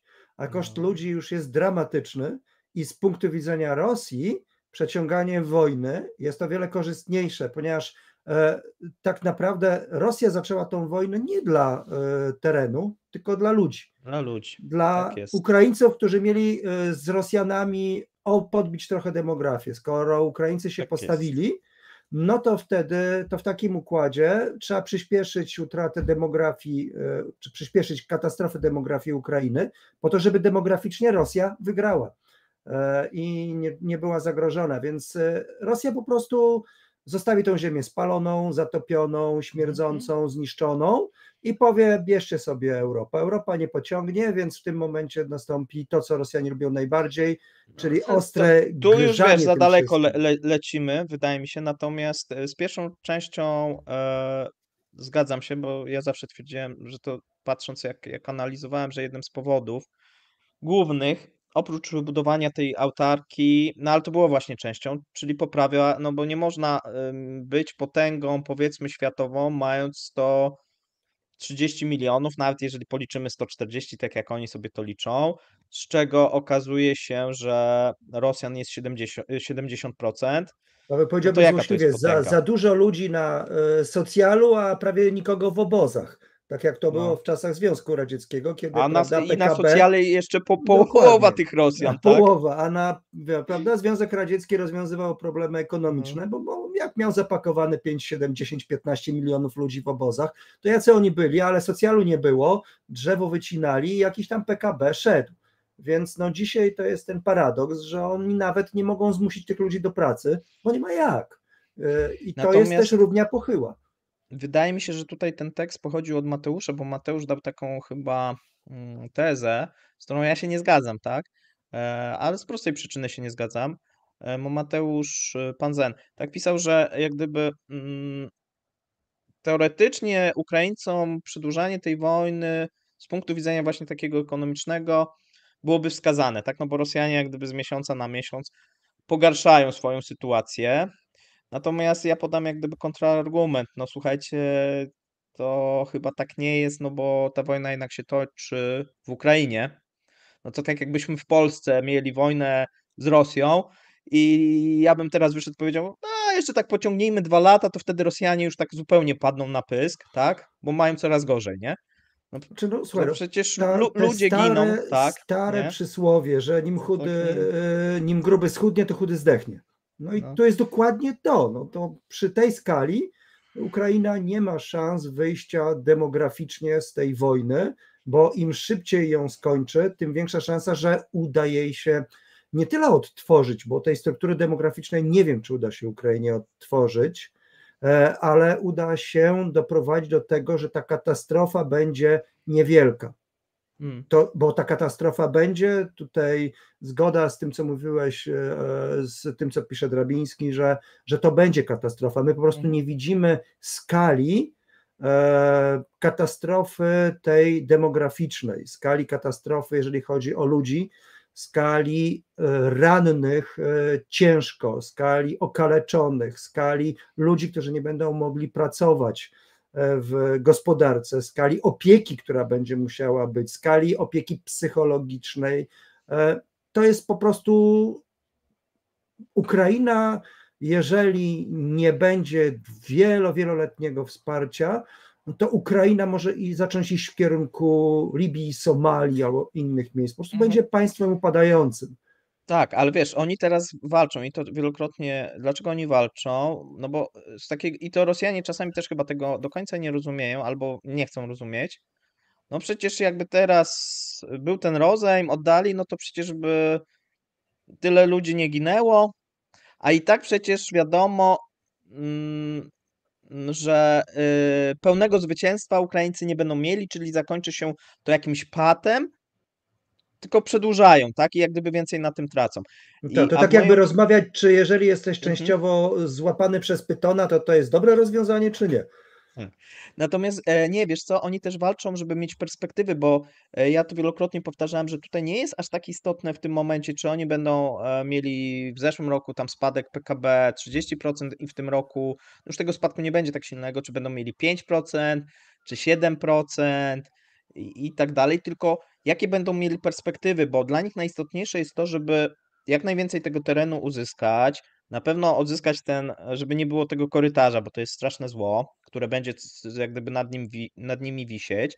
Natomiast jeżeli by się uzyskało im to odzyskać, to mają, to mogą mieć perspektywę na przykład właśnie Unii Europejskiej, NATO, czyli chodzi o perspektywę, bo kraj może ucierpieć, natomiast jeżeli ma perspektywę rozwoju, tak jak nie wiem, Niemcy po II wojnie światowej, nie?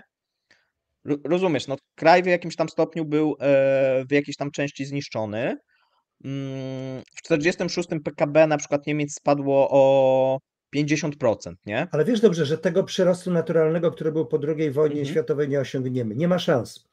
E, No dobrze, Ukraina ale wiesz, lepiej mieć perspektywę, wiesz, bycia w Unii, bycia częścią, nawet dla tych Ukraińców, którzy zostają, tudzież którzy pracują w Polsce, bo wiesz, oni mogą wtedy wziąć ten majątek, przyjechać, założyć tam firmę na Ukrainie, coś tam, ale jesteś częścią Zachodu, jest wspólny rynek, jest to, jest tamto, niż być taką strefą niczyją, a nie daj Boże tą strefą rosyjską, no bo to nie ma żadnej perspektywy wtedy. No jaką Nie, masz oczywiście, no? Nie ma żadnej No perspektywy. Oni doskonale wiedzą, że jakakolwiek ustępstwo Walczą ze strony. swoje dzieci, Znaczy tak? nie da, nie da się, nie, da, nie, nie mam ustępstwa z Rosją.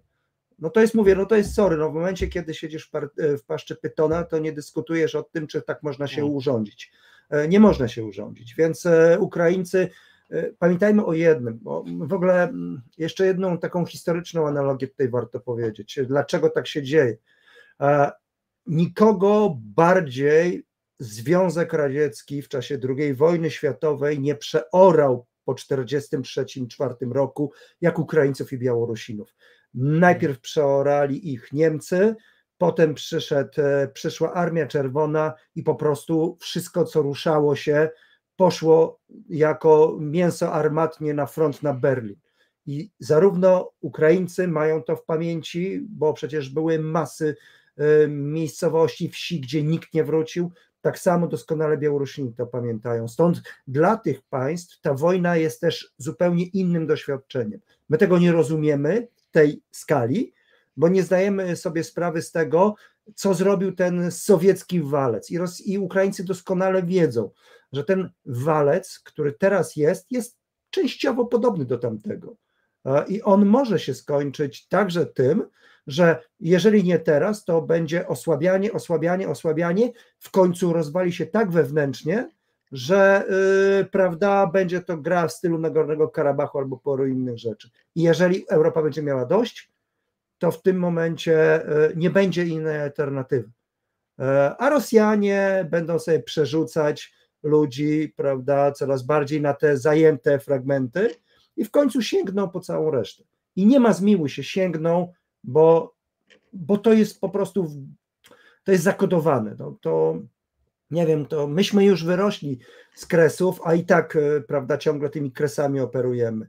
A to są tylko kresy. A tutaj mówimy o e, w cudzysłowie, sorry za, za, za, ten, za Heartland, prawda? No i, i jak tutaj możemy odpuścić? Więc, więc Znaczy wiesz, e, no, tu też jest no. tak, że jeżeli teraz nie zostanie odpuszczone, to to okno na świat, na Europę, ro, bo ono teraz Rosji się zatrzaskuje, tak? Jak gdyby w wielu tych aspektach. tak, Możemy oczywiście mówić, że za mało, narzekać, że Niemcy nadal może chcą, żeby tam i Francuzi, żeby było inaczej, no ale ono jakoś się zatrzaskuje, no jak gdyby sami Rosjanie sobie to okno zatrzaskują. A wiesz, jak oni sobie zatrzasną, no to jednak mamy te Chiny i wiesz, ja tutaj cały czas, a ja cały czas jak gdyby widzę, wiesz, że my też tak żyjemy trosz, troszkę tym, co było, tak? Zapominając, że ta układanka się zmieniła i wiesz, no powiedzmy w 45 to Rosjanie byli potęgą, a Chiny by, były jakimś krajem upadłym, e, jak na tamte czasy oczywiście. E, A teraz mamy sytuację odwrotną, tak? Mamy gospodarkę, która jest 10, 12, 17, no możesz tam sobie liczyć w zależności od których, które wskaźniki weźmiesz, no ale powiedzmy, nie wiem, 15 razy większa niż gospodarka rosyjska, tak? nie Demograficznie no to tak oczywiście, samo. że tak. No, No to, to, Rosja, Rosja to jest. się nie, musi, nie może tak, wiesz, Rosja jest i teraz, Chinami, które były w 45 mniej więcej. No, no. I teraz wiesz, masz zamknie, za, ale nie ma, ale w życiu nie stanie się czymś zachód, lepszym, bo nie ma kim. nie? Ale zamykasz sobie to e, okno za, na zachód, musisz współpracować z tymi Chinami mm, i jeszcze udaje, że ta współpraca, y, i to też jak gdyby moim zdaniem Rosję gubi, że oni cały czas y, y, troszeczkę prowokują te Chiny w ten sposób, że oni próbują cały czas e, nie rozgrywać to jako junior partner, tylko próbować udawać, że są Mm, Bo tak pewnie, jak oni by powiedzieli, wiesz, położyliby uszy po sobie, tego, pomóżcie yy, i prosili i coś tam, wbrew tej Zgoda, ale rosyjskiej duszy. Paweł, popatrz, do, Mhm. mamy 50 lat, 60 lat po e, rozpadzie systemu kolonialnego. E, dopiero Macron, Macron Mhm. odkrywa i Francuzi odkrywają, że chyba trzeba byłoby zacząć rozmawiać z Afryką, nie na Tak, zasadzie biały człowiek mówi do, Tak, do tak, tak. swoich kolonii. Po tylu latach. Mhm. Tak, E, tak, to tak, samo tak. nagle wreszcie zaskoczy, załapali trochę Niemcy. E, Brytyjczycy, no różnie z tym bywa jeszcze nadal, ale Europa nagle odkrywa, że sorry, ale my jesteśmy wielką Europą, tylko w skali tego świata, no to jesteśmy taką małą wyspą. Dobra, w miarę dobrze urządzoną. Jesteśmy takim, e, jesteśmy takim Singapurem przy Chinach mniej więcej w Mhm, skali e, mhm. ekonomii, możliwości i tak dalej, jeżeli chodzi o gospodarkę światową i, i Europę. No i potrzebna jest odrobina, no niestety, ale e, pokory. Rosjanie, Rosjanie nie pójdą w tą pokorę, ponieważ no cały czas Czyli nie, te, żyją. ten reżim Ten- jeszcze nie, ale ten następny, nie.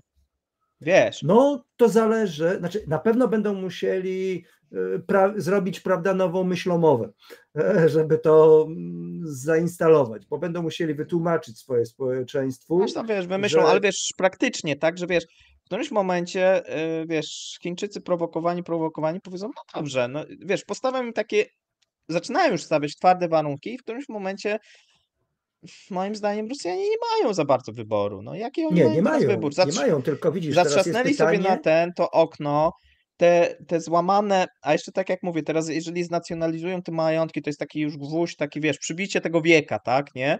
Sobie teraz to nałożyli wieko na, na tą trumnę swoją I teraz ktoś mówi, dobra, to weźmy gwoździe i sobie jeszcze przybijmy, żeby przypadkiem te firmy zachodnie tam jakichkolwiek majątków nie mieli, żeby nie wpadli na pomysł, że chcą wracać do tej Rosji, bo to wiesz, sporo firm na przykład sobie zamroziło inwestycje, coś tam, coś tam, nie? Na zasadzie, dobra, za 3-4 lata może wrócimy. Znaczy, wiesz, Nie, oni bo się zachowują jak jest- bolszewicy mniej więcej w XVII-XVIII roku.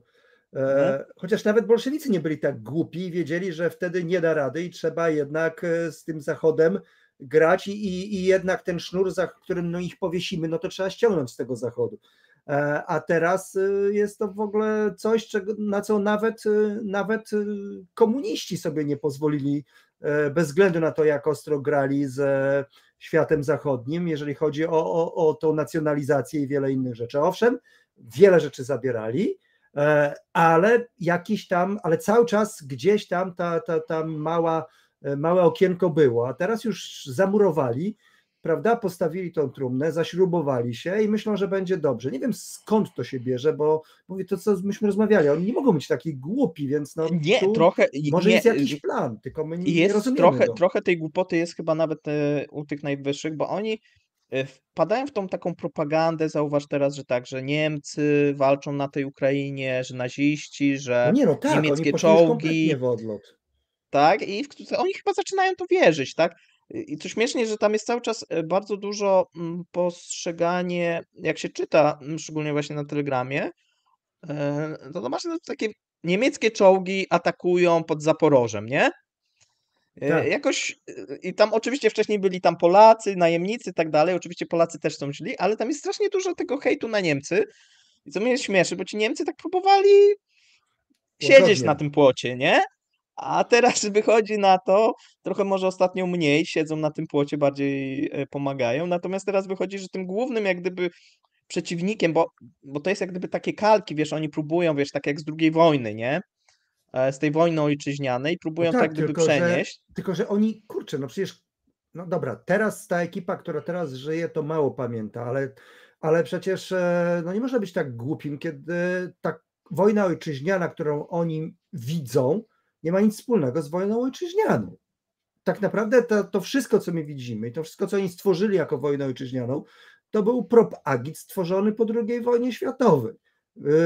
Łącznie z wszystkimi wariactwami dotyczącymi e, tego, kto gdzie walczył, dlaczego, nie wiem, cudownego Breżniewa z czasów Małej Ziemi, no, no po prostu oni e, nie tylko e, nie realizują, nie, nie nawiązują do, do prawdziwego e, tego okresu e, wojny ojczyźnianej, co w zasadzie już wypaczyli nawet to, co było. No bo przecież to, co było, odbyło się siłą e, Związku Radzieckiego, a nie Rosji. Oni cisnęli sobie w mózgi, że kurczę, że, że Rosja wygrała Wielką Wojnę Ojczyźnianą. A tak naprawdę Rosjanie zapewne mm, byli, e, znaczy w jednym trzeba przyznać, największa ilość jeńców, którą wzięli Niemcy, to byli Rosjanie. Rosjanie, tak. Dokładnie. Też nie tak. Kazachowie, nie Uzbecy, nie Mhm. Tadżycy i tak dalej. Największa ilość jeńców, których duże wzięto. obszary, duże ten. Oni się z chęcią też poddawali wtedy, nie? Tak, dokładnie. Nie było żadnej chęci do bronienia tej matuszki Rosji. Gdyby Niemcy nie byli tak głupi i od razu nie potraktowali ich jak podludzi, to diabli go wiedzą, e, jak, e, jak ten, ten, ten terror rosyjski był, okazał się skuteczny w stosunku do, do braku terroru niemieckiego. No ale jak masz, oni, oni są teraz e, w okopach dokładnie tak jak e, ci Rosjanie, którzy mieli z jednej strony Wehrmacht, który ich palił, a z drugiej strony rosyjską partyzantkę, która ich rozstrzeliwała, jak nie chcieli nigdzie iść. Więc Znaczy, rzeczywiście wy- są w sytuacji bez wyjścia. Wiesz co, ja, ja, ja się powiem ci, że e, ja nie widzę, żeby Rosjanie jako Rosjanie wierzyli w tą propagandę. No, nam się trochę też tak pró- próbuje wmówić, że Rosjanie tak Znaczy ja wierzą, też nie, tak. nie, nie, nie, nie Nie, kupuję tego. zdaniem nie. Patrząc, wiesz, jak się czyta, no to to, że się cieszyli, że tym oligarchom dowalili, mm, aż musi, te- musieli tam w tej jedynce to prostować, to też było śmieszne, że przecież to też są Rosjanie, a nie żadni oligarchowie. A, a większość jest jak to w Rosji, wiesz co, oni się po prostu jest bierna, żeby przeżyć. Tak, jak kiedyś jeszcze to może było 70, 80, to ja myślę, że teraz 90 czy 90 parę, bo ci aktywni, co, coś tam by jeszcze może zrobili, to siedzą. wyjechali. Albo Co? uciekli, albo już siedzą. Albo uciekli, albo siedzą, albo, albo, albo tam, nie wiem, coś z nimi innego jest, nie? Więc większość to jest po prostu tak, co będzie, to będzie, dbajmy o siebie, o to, co ja dzisiaj kupię, co ja dzisiaj zrobię, co ja jutro, a nie zajmujmy się jakąś tam Wiesz co, moim polityką. zdaniem jest jeszcze jedna ciekawa Mhm. rzecz. E, Rosjanie, e, nie tylko Rosjanie, ale, ale Wielka Wojna Ojczyźniana e, w pamięci Rosjan to jest przede wszystkim hekatomba cywilów, hekatomba zaplecza cywilnego. To nie była tylko hekatomba tych, którzy byli na froncie, Mhm. bo rzeczywiście tam Każdy masa położyła głowy, Mhm. ale tak naprawdę 60% wszystkich strat to, jest, to są straty ludności cywilnej, a większa, a spora część z tych 60 czy ponad 60% to bynajmniej nie ta, którą położyła głowę y, w okupacji niemieckiej, tylko sami Rosjanie e, doprowadzili do tego. Więc ta wojna to była potworna bieda, potworny strach, upodlenie i zejście tam na same dno.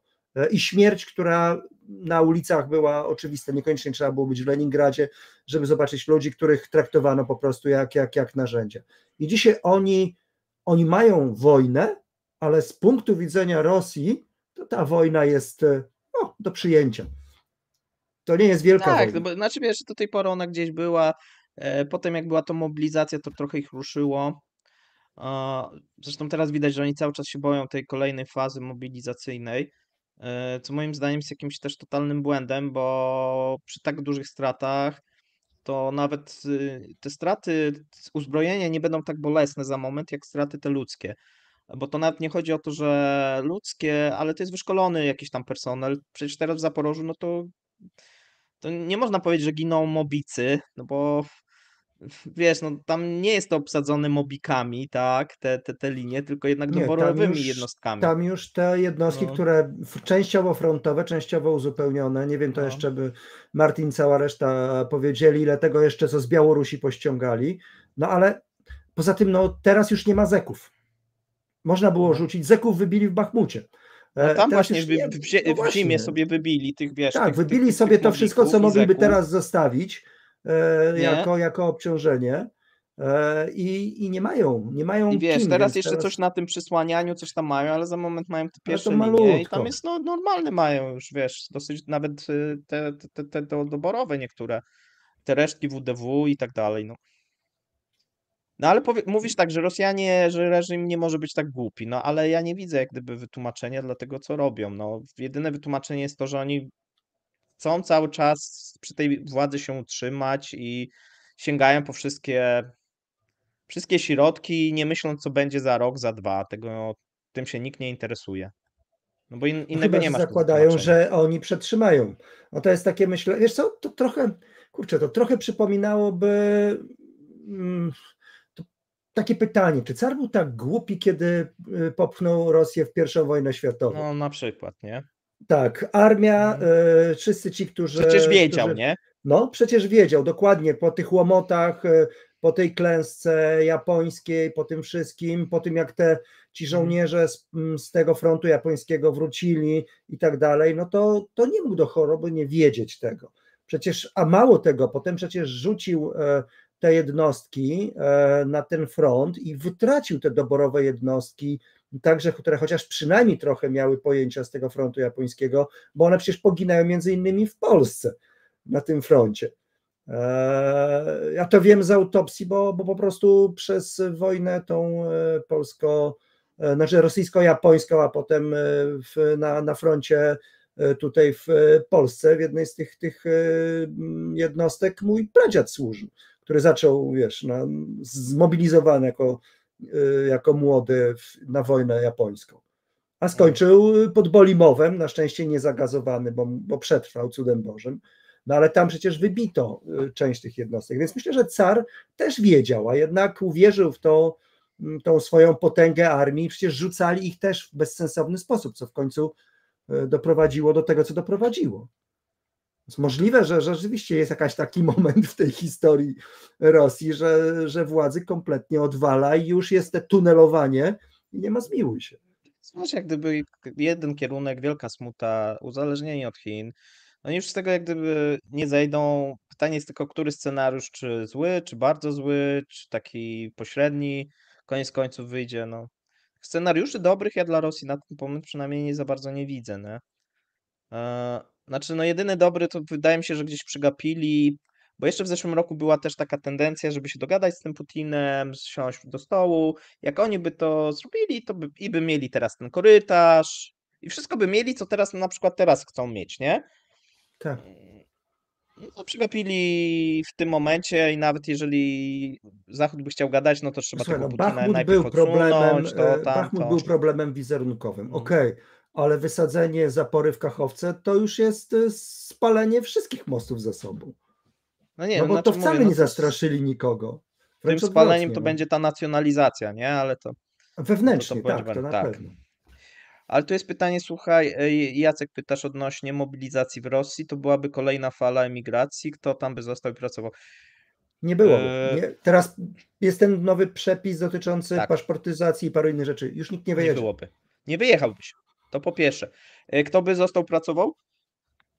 Myślę, że tym by się nie przejmowali, no bo skoro się teraz nie przejmują, wprowadzając różne dziwne podatki, łącznie z tym, że tak jak wam pisałem i mówiłem, że za moment, znaczy już mają problemy z tą benzyną, bo ktoś wpadł na genialny pomysł, żeby zabrać część pieniędzy. No i się nie będą przejmować, tak? No to będzie za, za rok, za dwa lata. Zresztą e, część e, tych, tych e, zmobilizowanych kazałoby im się pracować w tych fabrykach, a więc dla nich by się za dużo nie zmieniło. Dotyczyło jakiegoś prywatnego biznesu. Nie wiem, myślę, że tym by się nikt nie przejmował. Natomiast oczywiście Wprowadziliby tego nie robią. pracę i już, no co za problem y, ogłosić, Tak, to- że, nie, że każdy, Rosjanie chce takie rzeczy już robili. No. Mhm. Więc ja bym tutaj, natomiast oni faktycznie nie robią i teraz nawet jeżeli, ale może też nie robią, bo oni wiedzą, że to jest trochę też za późno, nie? To też może tak być, nie? Że no ta, teraz ta, no bo jeżeli by teraz ogłosili mobilizację, no to ci ludzie byliby tak naprawdę e, gdzieś może na koniec jesieni, bardziej na wiosnę do czegoś zdatni, no bo przecież trzeba ich przeszkolić. Mm, A nie mają też takiej ilości w tym momencie artylerii, żeby e, wiesz, żeby no bo to, no bo jeszcze jak mieli w zeszłym roku tą artylerię, no to ci mobicy do, do czegoś mogli się im przydać, tak? A w tym momencie, jeżeli nie mają amunicji, bo mają takie problemy, e, no to ci mob- zmobilizowani no coraz mniejszą wartość dla nich też mają, to jest raz. Co prawda dzisiaj czytałem po raz kolejny, było wizytowanie chyba e, jakiegoś zakładu, tylko nie przez Putina, tylko przez kogoś innego. No oni, oni jakieś tam straszliwe bajki, tak? Bo na przykład e, okazało się, że podawali, że w 2022 wyprodukowali 4000 armat, haubic i sprzętu takiego, nie? Znaczy może wyremontowali to i wyciągnęli z magazynów, ale wyprodukować to nie wyprodukowali, słuchajcie. No i teraz, że wyprodukują w pierwszym kwartale 700, tak, tak twierdzą. No, no nadal to są moim zdaniem niesprawdzone. No patrząc też, no jakie mają też problemy z amunicją, z Iskanderami, no ze wszystkim. To Znaczy co, uwierzę w 700 haubic ciągnionych. Jak jeszcze gdzieś mają trochę starych luf, parę innych rzeczy, dosta- jest doczepią coś nowe kółka, wyremontowane, no coś może, ale co? wyremontowane, tak. E, pomalują na nowo, wypiaskują i pójdzie to na front. No, z, Ale z to- pomników zde- zdjęte, tak? No to wiesz. Nie, bo oni no, się nie? poko- pokończyły, wiesz, no to co mieli w magazynach, to już się pokończyło w zeszłym roku, w tym roku Znaczy, już oni cały czas wiedzą wyciągać. tylko jedno, że mają przewagę w ludziach. To znaczy, no, biorąc pod uwagę straty, no to ten milion Ukraińców to jest koniec Ukrainy. Milion Rosjan to jest, no dobra, jest duży problem Rosji, ale to jeszcze nie koniec Rosji. Myślę, że cały czas ich myślenie jest dokładnie takie, że ludzie są tylko i wyłącznie narzędziem e, do zrealizowania tego, a tak jak kiedyś, prawda, Mao mówił, co tam spoko, kobiety narodzą dzieci. Wprawdzie nie bardzo już mogą rodzić dzieci, ale myślę, że nikt się tym kompletnie e, nie przejmuje. Albo też zakładają jeszcze, że jak to wszystko się uspokoi, to ten, e, to ci migranci z Azji postsowieckiej z powrotem do nich przyjadą i będą budować im tą gospodarkę, no bo będzie mniejsza konkurencja, będą mieli więcej, więcej roboty, być może trochę lepszą kasę. E, Tutaj piszecie, że mobilizacja nigdy oficjalnie nie była odwołana. Tak, ona nie jest odwołana. Mm. A jest kwestia roku- tego, żeby kazać ich po prostu ściągnąć z powrotem. Tak, tylko ja myślę, że na przykład oni nie robią tej mobilizacji następnej fali, dlatego że Putin wierzy w to, co mu przekazują. Bo yy, ja puszczałem jakąś informację jakiś czas temu, że oni się w kwietniu niechcący pochwalili, że tych kontraktowych wzięli 13,6 tysiąca. i powiedzieli, e, sorry, maj, e, do połowy teraz czerwca tak podawali, maj i połowa czerwca 13,6 i powiedzieli, że przez przypadek powiedzieli, że to było trzykrotnie więcej niż w kwietniu i w poprzednich miesiącach, jak gdyby podając ile kontraktowych od początku roku wzięli, a, maj, a mieli wziąć 300 tysięcy. To już z tym, e, z Matim się z tego śmieliśmy. E, Nie no, dlatego myślę, wzięli że- te wszystkie PMC, no bo to jest jedyny sposób, y, żeby po, mieć kontrolę nad tymi siłami i prawdopodobnie, no ja obstawiam, że PMC będą na swój sposób robiły zazeków. Jednym słowem, Nie, oni wiesz- po prostu nimi wypełnią różne miejsca, żeby, żeby nie marnować swoich ludzi. Nie, ale ja myślę, że to było wiesz, na takiej, zapłacą. takiej zasadzie trochę tak. Putin się pyta, e, to co, robimy tą mobilizację? Tam Szojgu, Gier... nie, tam my 300 tysięcy pozyskamy teraz, nie? Potem się jak pyta, jak to idzie, no to im mówią, no w tym miesiącu dosyć dobrze, zaczyna, ruszyło 13,6, trzykrotnie więcej. Wiesz, ja, ja myślę, że oni wierzą w te bajki swoje, tak? I sami jak gdyby, bojąc się o własne stanowiska, okłamują sami, sami siebie nawzajem, no bo jeżeli oni widzieli styczeń, luty, że ludzie im się nie pchają, no to nie chcieli powiedzieć, okej, e, a zrobili przecież w tym Petersburgu te, te, te, te naklejki, te plakaty w Moskwie, nie wiem, czy tam widziałeś tą akcję, tak, którą Tak. e, w metrze zrobili i tak dalej, nie? Tam miał być wielki sukces i oni jak gdyby, no musieliby się przyznać, że ponieśli klapę, że ponieśli porażkę, nikt nie chce się przyznać, a więc oni do końca Czy no udają, wiesz, no, że to jest Putin sukces. już coś, już coś powiedział, przygotowuje, tylko Ja ciekawe, wiem, no, no bo- przygotowu... tylko ciekawe, Ale co to jest wszystko za przygotowuje. późno, wiesz. Nie, oczywiście, że jest za późno, wiesz, to mnie inter... najfajniejsze jest jedno, czy, czy gdziekolwiek, na jakimkolwiek poziomie, ktokolwiek e, mówi tam prawdę, bo, bo to jest tak, zarówno na poziomie ekonomicznym, Nie. na poziomie, e, na poziomie strat, na poziomie e, mobilizacji, tam kurczę po prostu, no nie sposób prowadzić działania, jeśli wszystko jest e, fikcją. No, a oni żyją w tej fikcji. I dlatego wiesz, to wszystkie te, te akcje z tą mobilizacją, bo wszystko było spóźnione, bo ja podejrzewam, że wiesz, wszyscy nie chcieli się przyznać do, że oni popełnili błąd, zawyżali te dane, poprawiali, udawali, przesuwali i koniec końców wyszło, że do, w którymś momencie jednak ta rzeczywistość dopadła, no ale to były 3 czy 4 miesiące już za późno. Dlatego te wszystkie działania, które my obserwujemy, właśnie wynikają chyba z tego systemu, który Znaczy, obecnie z drugiej mają. strony to niestety mm, mimo wszystko ci ludzie walczą. Znaczy walczą między innymi dlatego, że im się strzela w plecy, ale, ale No, to, to zaporowe, co, nie? wiesz co, to jest to, i myślę, że na froncie ci, ci w okopach dokładnie e, są mentalnie zbliżeni do tych, którzy chcą przetrwać e, w normalnej rzeczywistości. Czyli po prostu tak, oni, tak. oni nie są zdolni do niczego. Jak im każą biec, to biegną, E, może się przetrwa, może ten, może mnie zranią, może mnie wycofają. E, zero jakiejkolwiek motywacji, a jednocześnie chyba jeszcze nie jest ten moment, Nie, mają żeby motywację. Nie zgodzę się, mają motywację przeżyć.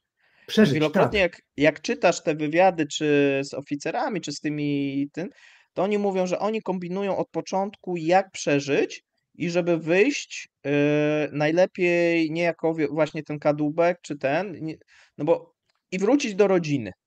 To jest mniej więcej taki. Oni nie walczą o jakąś tam wielką Rosję, o to, żeby z, z nazistami, tylko po prostu, żeby przeżyć. No, Słuchaj, no to jest przecież ich, ich A e, to, to normalnie na każdej wojnie tak Słuchaj, jest. no ich sytuacja jest dokładnie tak, taka, taka sama jak y, carskiego żołnierza po brance. No. Dostawał, szedł do woja i co on miał jakąś. mm, Mar- zastanawiał się dlaczego, gdzie? Nie no, byle tylko. No, ale właśnie odsłużyć, to- no. To jest dobry przykład, bo zobaczycie po brance ci chłopi, ci żołnierze się buntowali. Nie, oni byli Nie, pogodzeni ze nigdy. swoim go. Nie, szli po prostu, szli, Szli ginęli. I liczyli na tylko to, że przetrwają liczyli, że może przetrwają i wrócą kiedyś y, do siebie, tak? No to był jak gdyby cel. No i tu jest podobnie, więc się nic nie zmieniło. Tyle lata, te same motywacje nadal Tak, ale to wiesz, ale to powoduje, że e, z kolei Ukrainie bardzo trudno jest przebijać się przez nich, bo oni po prostu nie mają nic do stracenia. E, Jeszcze nie ma tego, na co myślę, że e, liczono, że ci ludzie zaczną się poddawać. Może dlatego, że te walki są zacięte i że w pewnym momencie nie mają jak się poddać. Wiesz Bo co, oni nie jest mają kwestia. jak, to nie jest też takie proste. Tak, y, i się boją też poddać. tak, e, bo bo gdyby wiesz, były kotły różne, to myślę, że większość by się Mhm. poddała. Nie ma kotłów, tylko jest po prostu, oni siedzą w tych okopach, e, no i trudno się poddać, kiedy ktoś atakuje. I wiesz, jakby, jest tak jak mówisz, mieli do wyboru albo zginąć, albo poddać się, to by się wszyscy poddali, ale Poddali. tu muszą, wiesz, wykonać pewien wysiłek, czyli zaryzykować, y, że mogą nie przeżyć, no bo muszą, wiesz, y, wyjść z tych okopów, gdzieś pobiec, y, mogą zostać zastrzeleni, no wiesz, no, Tak, nie, no tak co, widać wyjdziesz z okopu i co, i nie wiem, weźmiesz telefon, zaczniesz gdzieś dzwonić na tą linię, co uruchomili, no ale co, pobiegniesz, no i co, Ukraińcy Ale jest zobaczą, takie biegnie wre, jakiś... że nic nie lata, no to- więc na pewno nie dodzwonią się nigdzie.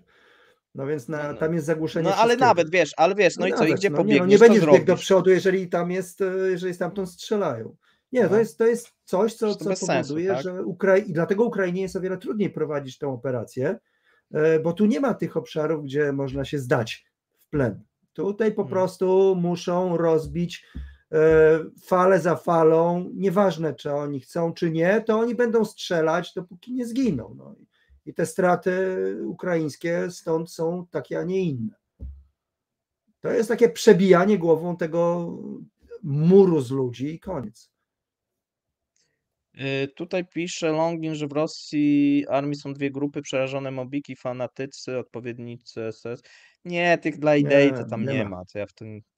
Znaczy, jak w każdej armii, tak, będą i tacy, tak, natomiast ich jest bardzo mało. Tak jak się czyta, to mm, być może oni są głośni, bo oni są tam często na telegramie, gdzieś są wywiady z nimi i tak dalej, i tak dalej, ale ich, Pytanie, ich co jest jest ideą?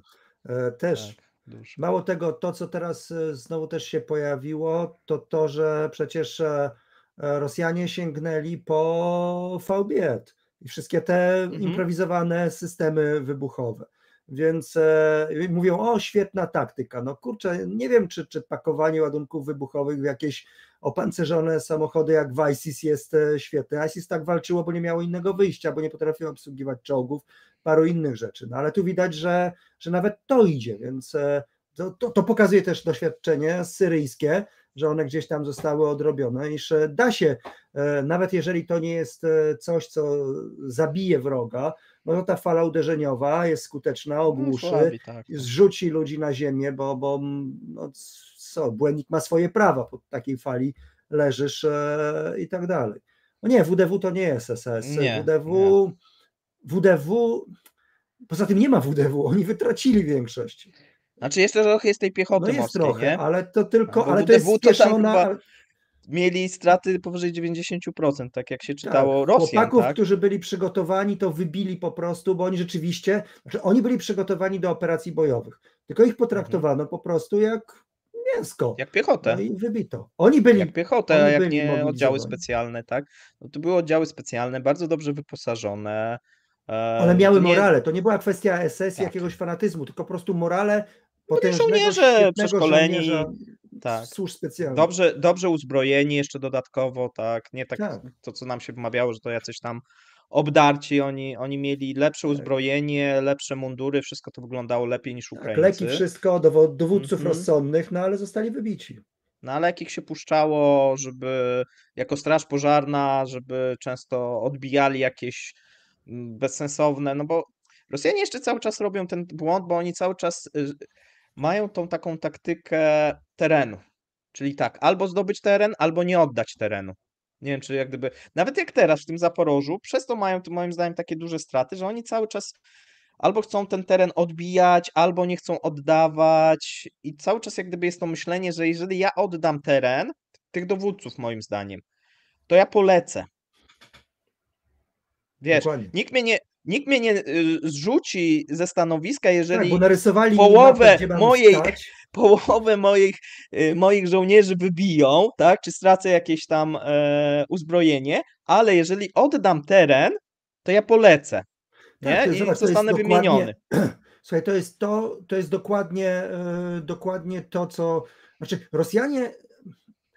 Rosjanie nakręcili świetne filmy wojenne po II wojnie światowej. Świetne. Ten, kto Mhm. chciałby zrozumieć w wielu przypadkach mentalność e, e, rosyjskiego żołnierza, ten powinien był sobie poczytać czy obejrzeć wiele rosyjskich filmów, bo e, one tam nie było dużo wielkiego, super, oczywiście wrzucano te hasła jakieś super patriotyczne, ale one pokazywały, pokazywały to, ten los, ten, ten, ten los żołnierza, czy to, e, czy to były te bataliony kobiece, czy tak cicho o zmierzchu, czy, czy, czy, czy Służba wieka, czy bataliony proszą ognia, no, no można by sobie wiele tych wymieniać i, i to była kwintesencja tego, żeby zrozumieć e, pewną tą, tą to czym był rosyjski żołnierz na tej wojnie. On był, on był po prostu narzędziem, on, rzucanym bezsensownie. Potem było spokój, bo już nie było wojny, ale pamiętajmy, że to, co my widzimy, to jest też dokładnie to, co Rosjanie potem zrobili, e, kiedy wreszcie można było nakręcić parę dobrych filmów o Afganistanie. E, kiedy trzymali się tego wzgórza i zostali wybici do Mhm. nogi, a potem przyszedł facet, cholera, się tutaj siedzieli. Kiedy kompania, No, cały czas kiedy kompania została wybita. Ten dokładnie. kult tego, wiesz, właśnie z tego trzymania pozycji i tego ten, nie? Tak. I tej bohater, wiesz, nawet jak dostają te medale czy coś za to właśnie, że się utrzymali, za to, że ten. Trochę Ukraińcy mają też tego, ale nie aż tyle. No w ich przypadku to trochę może jest inaczej, bo to jest ich ziemia, nie? Ale. No ale Rosjanie, nie wiem, no to, to ich moim zdaniem gubi też na tej, może i dobrze, tak? No bo jakby tego nie mieli, to, to, to pewnie by ta wojna inaczej wyglądała. To fakt. No ale to jest to, jest to że, że, że ta mentalność jest w wojsku. No, ci wyrwani ludzie są tacy, jacy byli, więc no, tutaj myślę, że bardzo trudno będzie e, walczyć. Bardzo trudno będzie Ukraińcom, bardzo trudno, bardzo łatwo będzie Rosjanom póki co, bo co jest jeszcze ciekawe? Zobacz, że nie odpowiadają, mimo że Putin już zaczął to mówić, ale nadal żadni dowódcy nie odpowiadają za swoje błędy. To jest Nie, od, nieprawdopodobne. od, jeszcze raz, odpowiadają ci, co Którzy na przykład stracili jakiś teren, tak?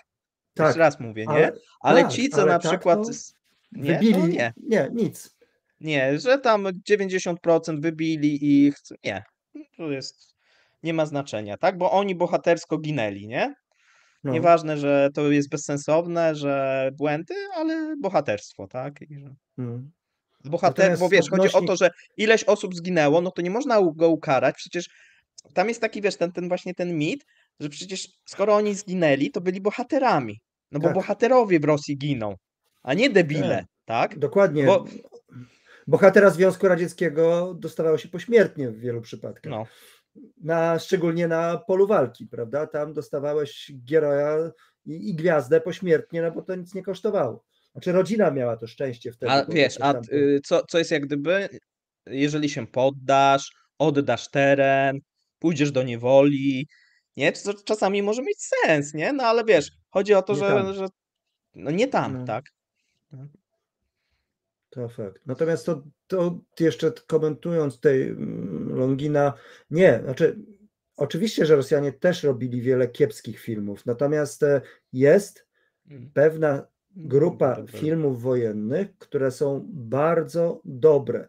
Dlatego, że jeżeli nie patrzymy na nie zgodnie z prop agit, a patrzymy na nie tak, jak one wyglądają, no to faktycznie, e, kiedy zrozumiemy to, jak ta wojna wyglądała, i oni, oni naprawdę w tych filmach pokazali, że ten żołnierz jest po prostu niczym, pyłkiem.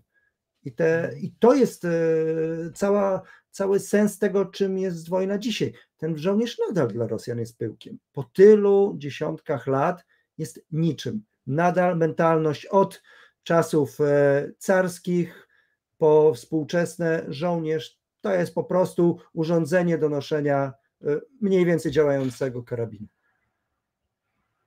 No. No dobra, słuchaj, Daniel, to chyba będziemy kończyć, bo znowuż dwie godziny. Tak jest. Zro, zro, zrobiło się. Świetnie mi się z Tobą rozmawia, jak zawsze. E, dziękuję wszystkim, że słuchajcie, w sobotę wieczór chcieliście być e, ze mną oraz e, z Danielem. My widzimy się jutro, o, bo tutaj były pytania odnośnie kapitana. Jutro nagrywamy, tylko jeszcze nie wiem o której, bo jeszcze nie przygotowałem materiału do końca, jeżeli chodzi o wieści z Rosji. Materiał raczej pójdzie wieczorem, natomiast zobaczymy, czy będziemy nagrywać rano, czy wieczorem. Mm, Tutaj właśnie wywołujecie, nie wiem dlaczego słoneczko, ale okej. Eee, Kapitan będzie jutro, no i we wtorek też będzie, powinien być, jeżeli wszystko dobrze pójdzie, materiał z Mateuszem, bo mamy dosyć dużo nowych newsów, e, jeżeli chodzi o, o wtorkowy materiał, tak? Jeżeli chodzi o Rosję, choć nie tylko, pewnie. A wszyscy razem pewnie w raz- czwartek, jak dobrze A pójdzie. w czwartek tak, w czwartek będzie live, tak. I to tak, tak, taka nasza telewizja tutaj mm, się zaczyna robić. Zobaczymy, co z tego dalej wyjdzie. No na razie przynajmniej świetnie się przy tym z tym czujemy. Mam nadzieję, że też coś pożytecznego robimy dla Was. Yy, To co, trzymajcie się, miłej nocy. Dzięki wielkie Do widzenia. za zaproszenie Dzięki, wbicie się na kanał. Nie Zawsze dałem ci pogadać. mile Zawsze jesteś mile widziany. Na razie. Okej. No, hej, hej. Cześć.